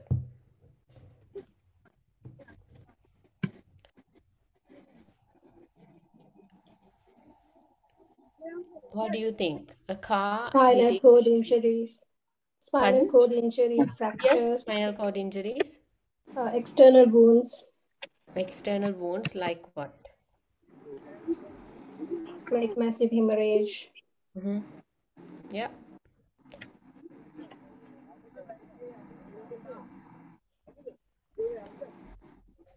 Um, can have head in- Sorry? injury. Can have head injuries while Yes, uh, head injury. Yeah. What else? Liver laceration, yes. So this kind of a patient can actually have any injury, right? But um, uh, but you have to look for injuries that can kill. Do you know any injuries that can kill patients immediately if not treated? Pneumothorax, yes. Tension pneumothorax, yes. Five life-threatening injuries. What are the five life-threatening injuries? You know. Sorry.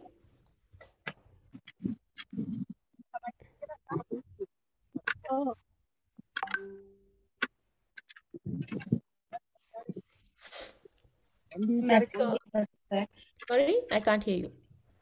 Massive pneumothorax. Yes, massive hemothorax. Pardon?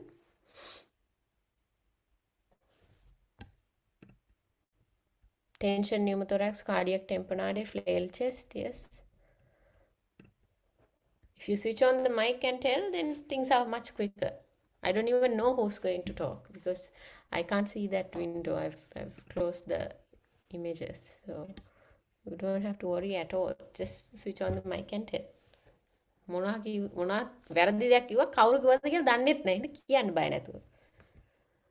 Uh, okay, so we move forward. So you can actually sustain any injury in this patient, but as you correctly said, you had to look for major injuries.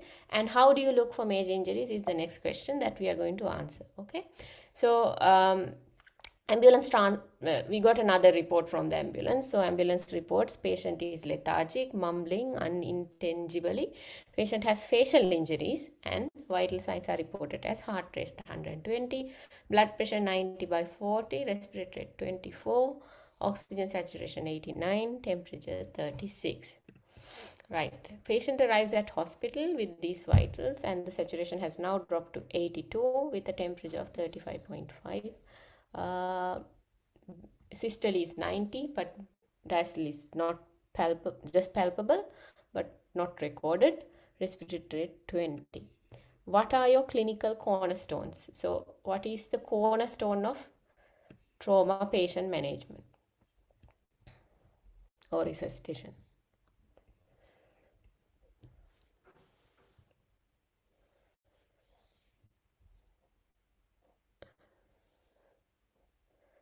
So patient is right in front of you now. You are the intern. You have one nursing officer with you. You have one attendant with you. Let's say you get this patient at 10 p.m. Usually the ward is you wouldn't have much support at that time. Until you get further support, how are you going to start? එහපත් නම් මොනහරි කරන්න doctor මොනහරි කරන්න Yes, according to ATLS protocol, ABCD assessment. Very good. So ABCD assessment, what do we mean by that?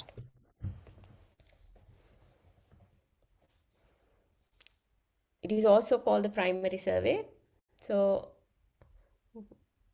how do we do that? Hmm? Okay. In other words, how do we start primary survey?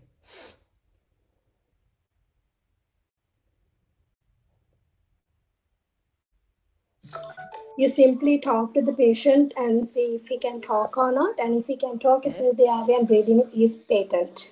Yes, that's a very good answer. So there is a method of assessing primary survey A, B, C, and D, but not E, with with within 10 seconds. That is by just talking to the patient and asking what happened. So if the patient can talk, does not only tell you that airway is patent. If the patient can talk rationally and give you a rational answer that tells their brain is perfusing. So it will also tell you that their circulation is good and uh, uh, as in it perfuses the brain, right? So that's a very good way of starting. And then you have to look for um, if the patient is talking, yes, they are waste patent.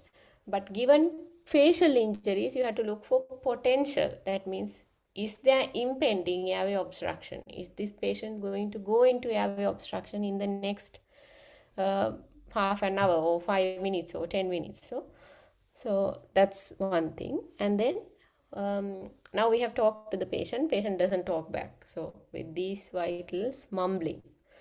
Now what? How do we look? What do we look for? So patient came on a spinal board, but ATLS starts with cervical immobilization. So if the patient is not on a cervical collar, yes, cervical injuries can be there. So C-spine immobilization. Now we call it cervical motion restriction. So we do we can do that just by keeping two blocks on either sides and strapping the blocks to the patient. You don't necessarily have to have a collar unless you have found cervical in injuries, spine injuries now. So you can put a put two blocks and immobilize the head. Uh, and then start your primary survey. So primary survey starts with airway, as you said, by talking to the patient. If the patient does not talk, then you look, listen, and feel for airway patency. And then for breathing, what do we what do we do to check breathing?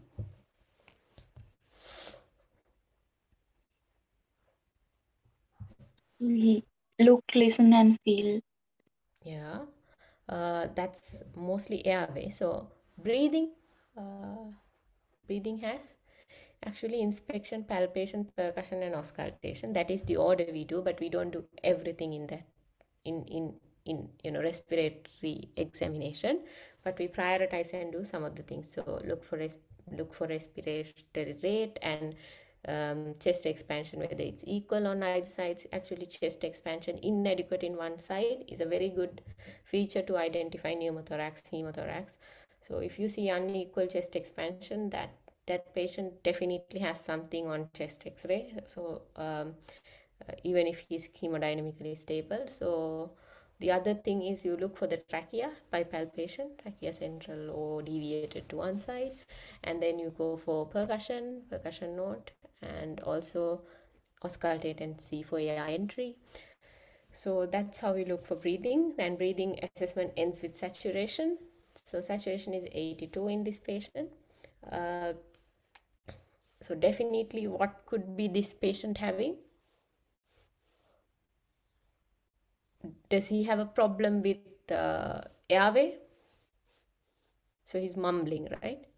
He could, and he has facial injuries. He could. And then what about breathing? Could he be having a problem with breathing? Hmm?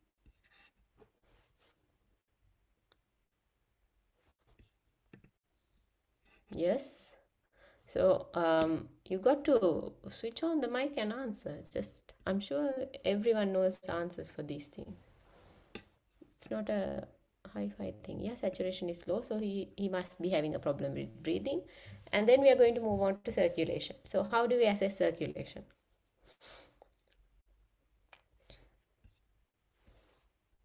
In fact, some of you all I might have taught in Ragam and NHSL this same thing. For final year medical student, I have taught this. Okay, so what do you look in circulation?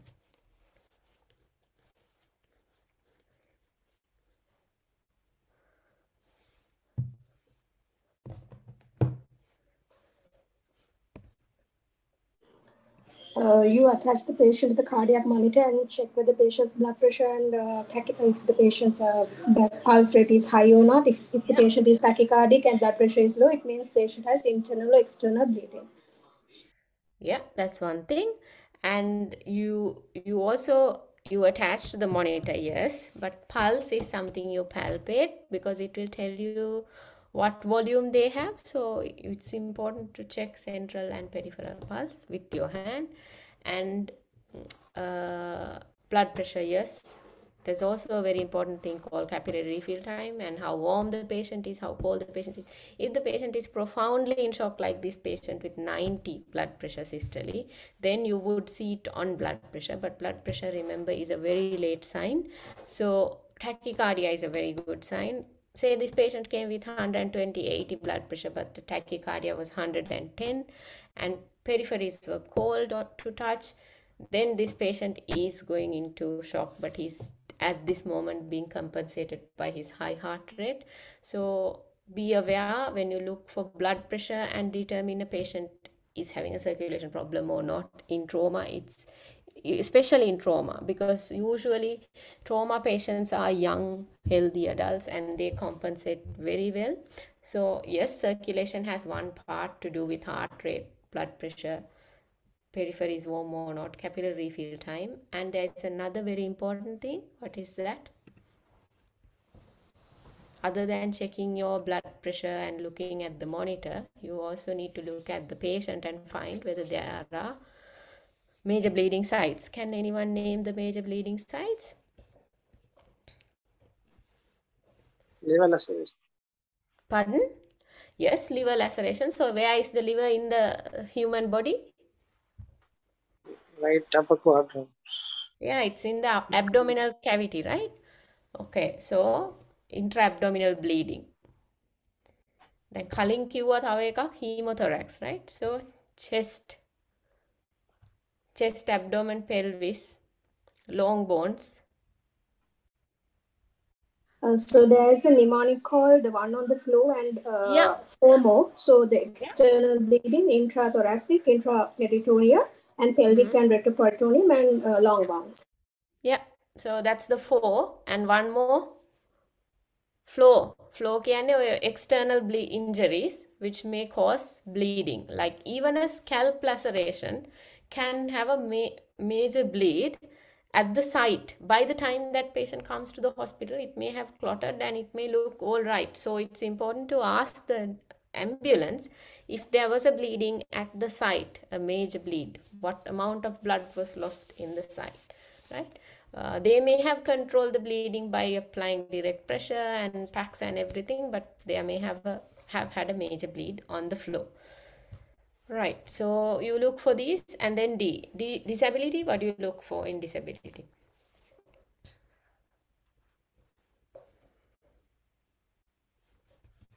Hmm.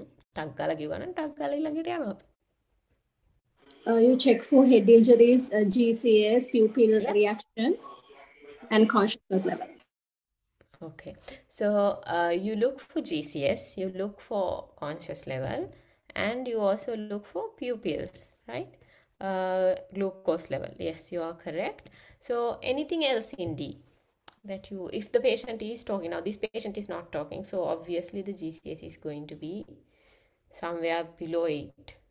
And uh, this patient, it's very important to know the GCS because if he improves or deteriorates, that will help us objectively find that as well. And uh, Capillary blood sugar. anything else? Sorry? Capillary blood sugar. Sugar yeah, level. blood sugar, GCS, pupils, anything else. So obvious neurology. If there's any, you know, the patient is not moving his leg or arm, any obvious neurology, right? Uh, okay, then in exposure, what do we look for?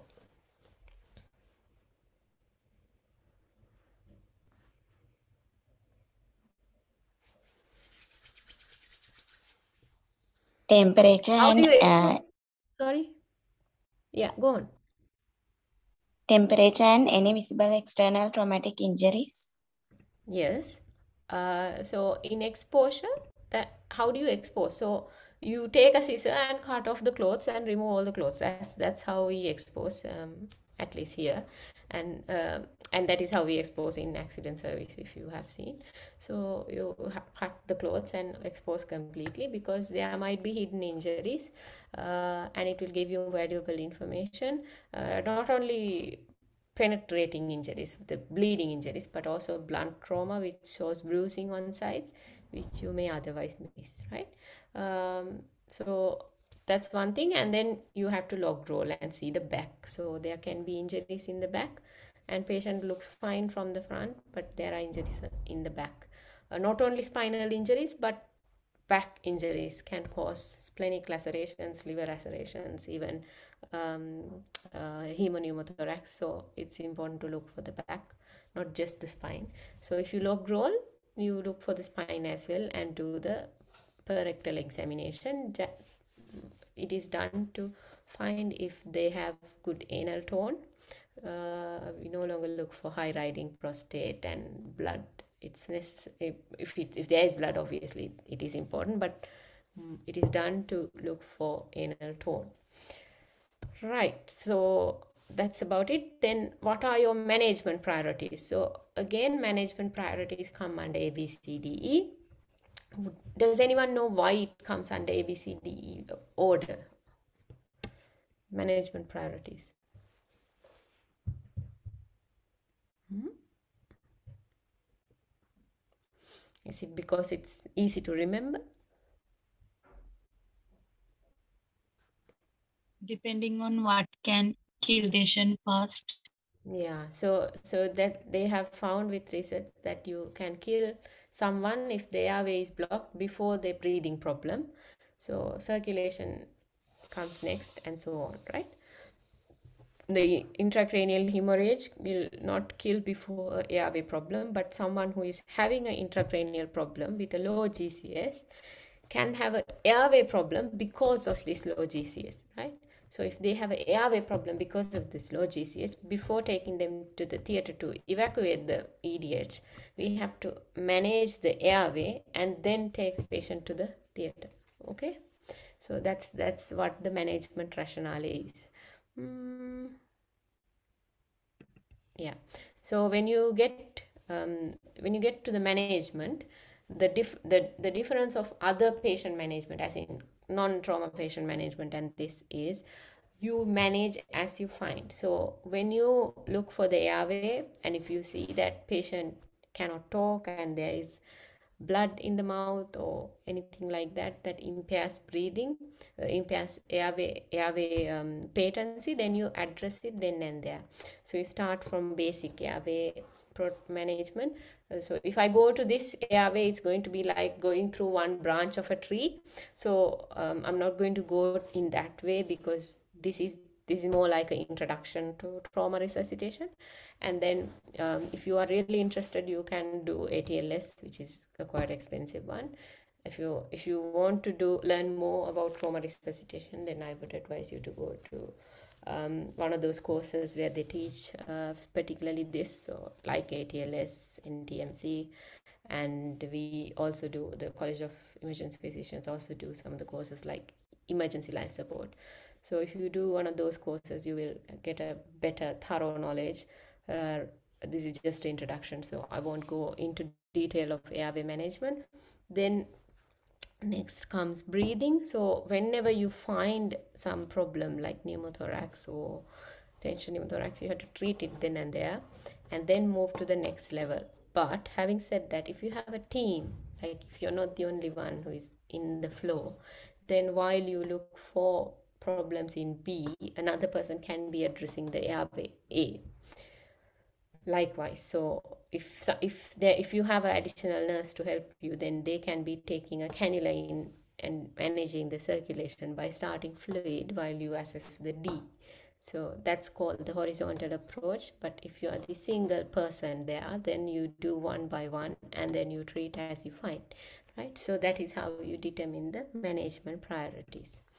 Okay so this patient obvious facial trauma has obvious facial trauma mumbling incoherently decreased breath sounds on left chest no visible neck veins minimum bleeding open left femur fracture left chest bruising possible pelvic fracture. Localized to pain with upper extremities moans to painful stimuli does not open eyes. Okay right so can someone tell me the gcs of this patient with this information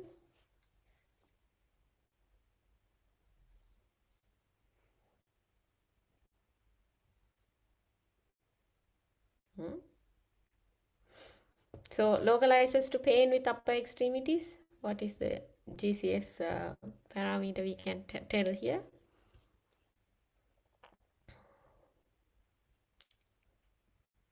Hmm? ටක් ගාලා Google කරලා බලලා කියන්න.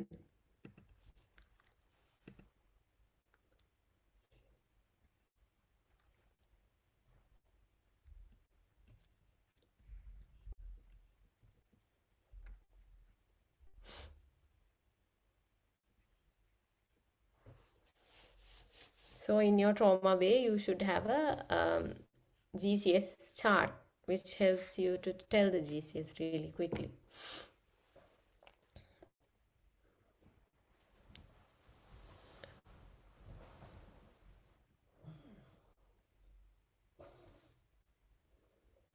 Any idea what his GCS is?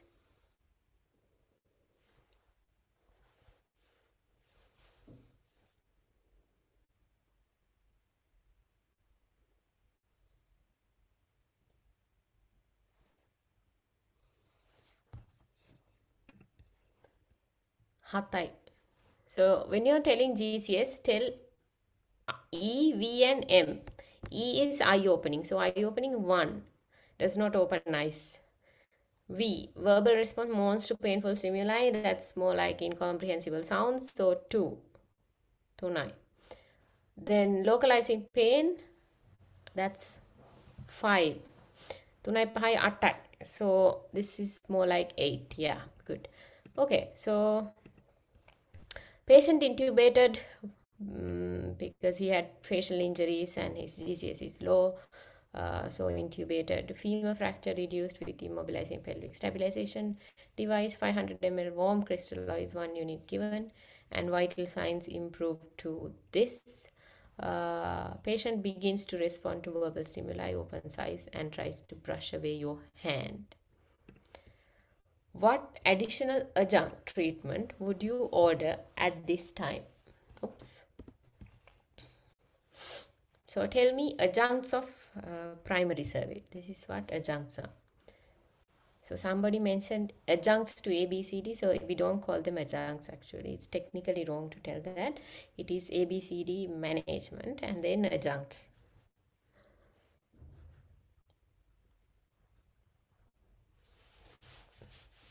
Okay, anything else you want to do after primary survey? That's what adjuncts mean. Uh, we can do uh, ECG monitoring. Yes, very good. ECG. Uh, Yes, ABG. pulse oximeter. Yeah, pulse oximeter actually comes in ATLS as an adjunct, but uh, having said that, it's a very, you know, a pulse oximeter as an adjunct is is sort of weird to say outside, but you can say Mm, it as adjunct. It actually comes in B. Anyway, capnography, NG catheters. capnography. You mean carbon dioxide, EtCO2. Okay, yeah, EtCO2. Uh, then, uh, yes, catheterization. Good. Anything else Scan. in this patient? Sorry? fast fast Okay, scan fast scan. Fast scan is part of circulation. If you are able to do fast scan, you do it at C to detect those uh, uh, bleeding manifestations we discussed.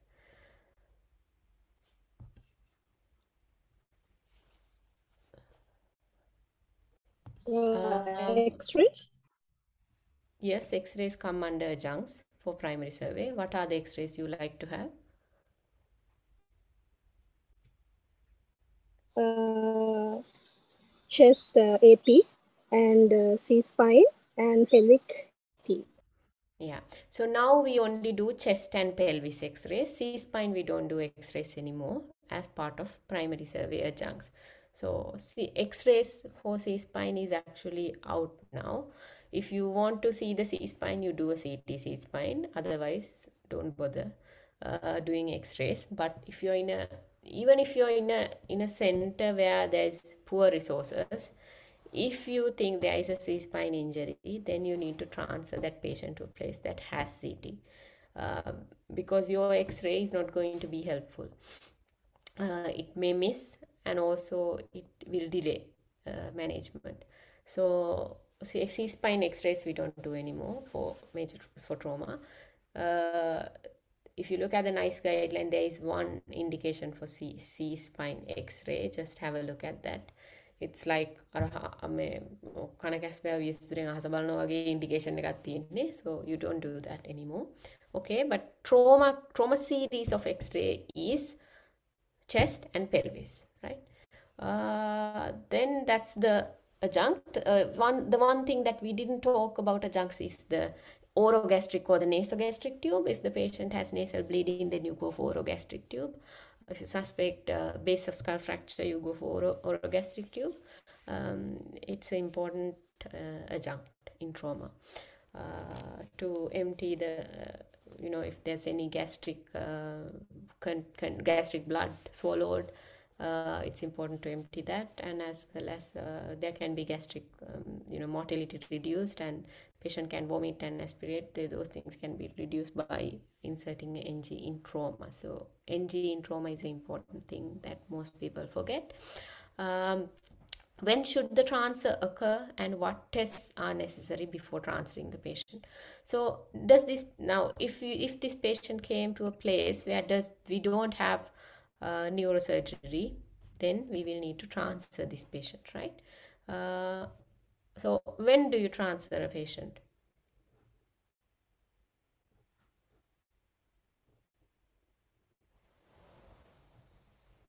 At what stage of management? Are we now ready to transfer? When the patient is stable, yeah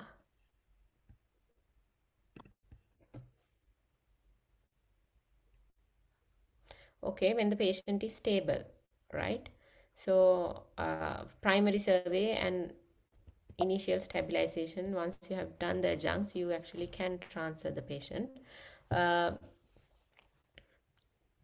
so he's breathing bilaterally well now and patient patient's loss of consciousness has reduced. Patient opens his eyes to pressure and moves away from stimulus uh, heart rate is 100 blood pressure 100 by 60 respiratory rate. But remember you will not be able to normalize the patient right? So you can stabilize but you're not going to normalize. Don't wait i mean you, you, you can't obviously improve his gcs to normal. You will not improve his blood pressure to normal. He's, it's not going to not be normalized but it's just going to be stable. Um, and you, you you can do a secondary survey before transferring uh, because you might have missed some injuries like this person is having a uh, what? Uh, yeah he has a left hemotymponium large ecchymosis left anterior chest abdominal soft tissue non-distended. So the hemotympanium may have been missed if you don't look so how do you do a secondary survey is the next question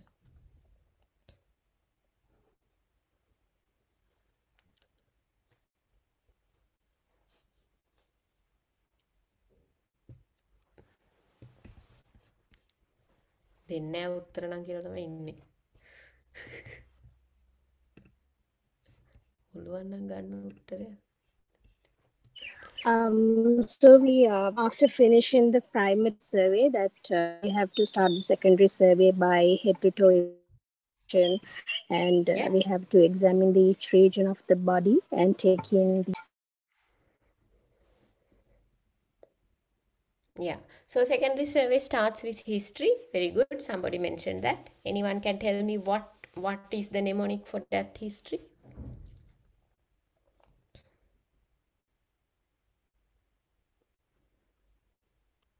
The Ample ample history.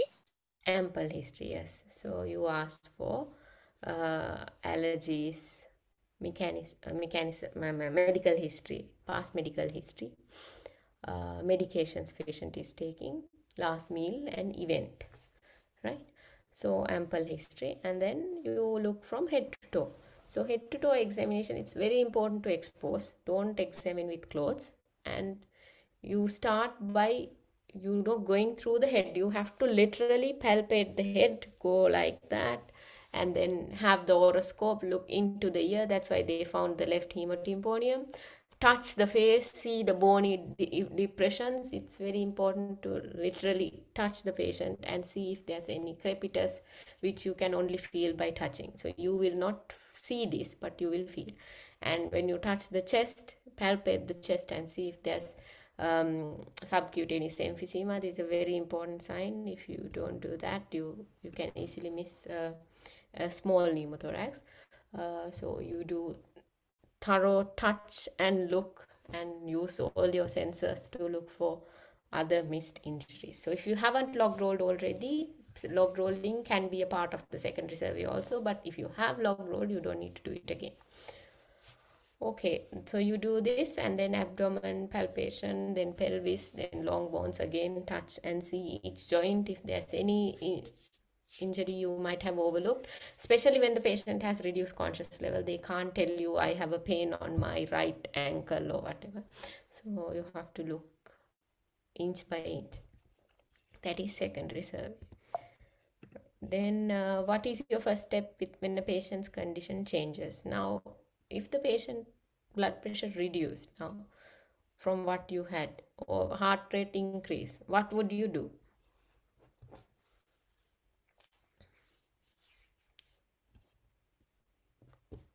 Hmm?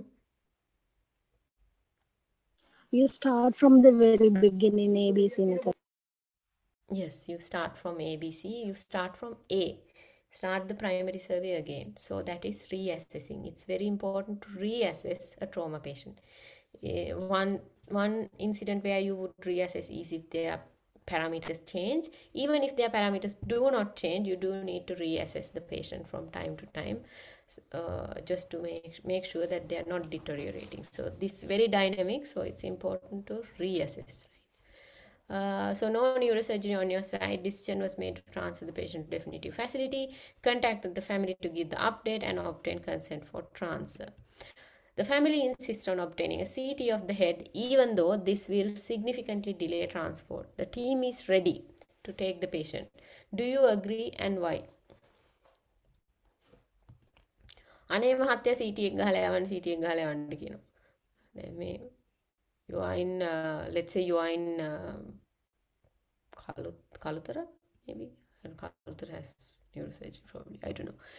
Uh, let's say you are in Vaunia. You're going to transfer to Anuradhapura. Uh, අනේ මහත්තයා සීටි එක ගහලා යවන්න ගහලා යවන්න. so what do you want to do?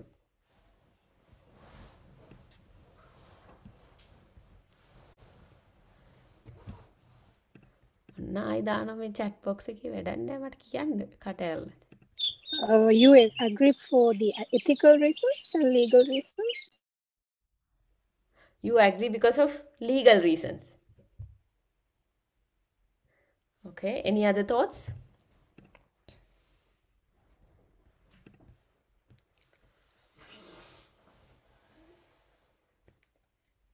The ambulance එක ඇවිල්ලා patient දාන්න යනකොට තමයි මේ අහන්නේ.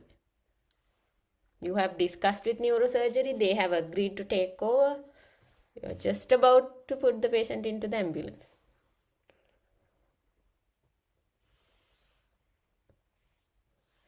So no, right? The answer is no, you don't do CT. Reason is it's not going to change your management. So you, it will only delay the transfer.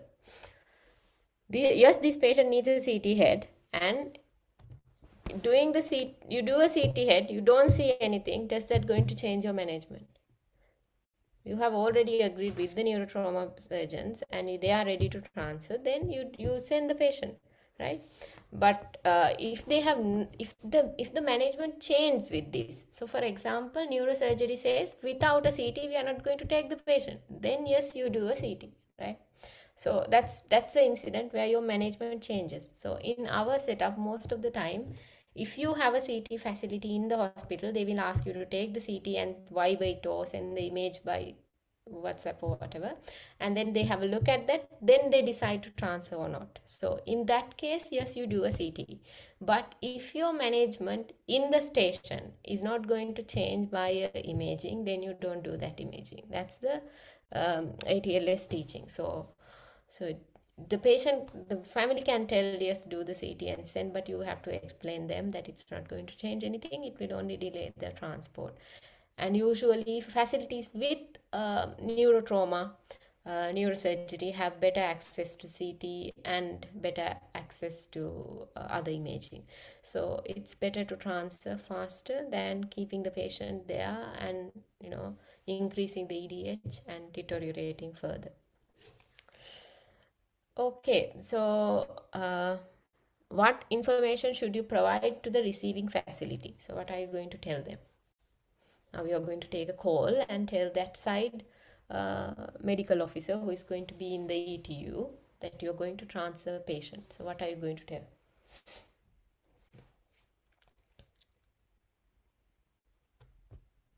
Hmm? I have to finish this, this now you don't talk then that's it. That question is going to be gone. Yes SBAR. Somebody typed ISBAR uh, langing ya s bar right? So s is for situation. So when you take the call i i stands for actually introduction. So you take the call and tell am i speaking to the medical officer of the etu at anuradhapura teaching hospital? Then they say yes. Then I'm the medical officer or I'm the intern medical officer from Vavuniya District General Hospital. Um, this is to refer you this is to re- this is to give you information about a patient we are about to transfer so that's your introduction then situation is this this is a patient who has had a collision with a, uh, a, a car collided with a tree and presenting with low GCS. So that's your situation. Then you go and tell further details of um, SBAR background. So background you can tell how this patient was extricated and then how the patient was brought by the ambulance and whether they gave fluid and then um, uh, what vitals he had on arrival and then what you have done and then what what vitals patient has now comes under the assessment. SBAR situation background assessment. Assessment is your current vital signs or what what has been improved and then R SBA R recommendation. So I want to transfer this patient to your facility. I have already discussed with the neurosurgery team. We are going to send this patient and estimated time of arrival will be this. Are you happy to take over this patient? Is there anything else you want us to do before we send the patient? Right. So that's your SBA handover. Right. Then the patient is transferred to trauma center and goes to surgery for evacuation of intracranial hematoma. So few more things I just need to remind you. If the patient had bleeding, there, there is something called permissive hypotension or um, uh, so where you don't give overly overly you don't make a patient more you know more than needed blood pressure. So that's that's a concept that you can go and have a read on permissive hypotension. Uh, and there's another important concept called massive transfusion protocol which i didn't go into de- into detail in this discussion because it will make this out of the scope. So it's another concept you can go and read massive transfusion protocol where you do it and why you do it sort of things. You will come across this when you start practicing. So good to know. And then there is another uh, important thing in trauma if you find major bleeds that is giving tranexamic so intracranial hemorrhage patients also has a place for tranexamic uh, read about that. Know a little bit about when to give tranexamic and how to give tranexamic for trauma patients. These are critical uh, management points that if patient has major bleeding.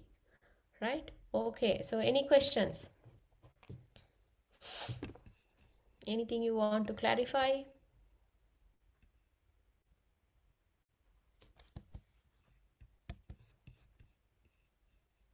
okay if no questions then so we have been discussing the importance of preparation of prior to trauma patient arrival and evaluation of mechanism of injury to determine the patient's potential injuries. Then we identify the correct sequence of priorities of assessment of a multiple injury patient. Then we apply the principle of primary and secondary survey to assessment of a multiple injured patient. Then we also discuss the importance of re-evaluating a patient who is not responding appropriately to the initial management and recognizing patients who require transfer to another facility for definitive care. Okay, folks, thank you very much. Uh, try to interact with discussions. Don't be afraid to talk, uh, right? So, hope you will enjoy working in trauma. Thank you.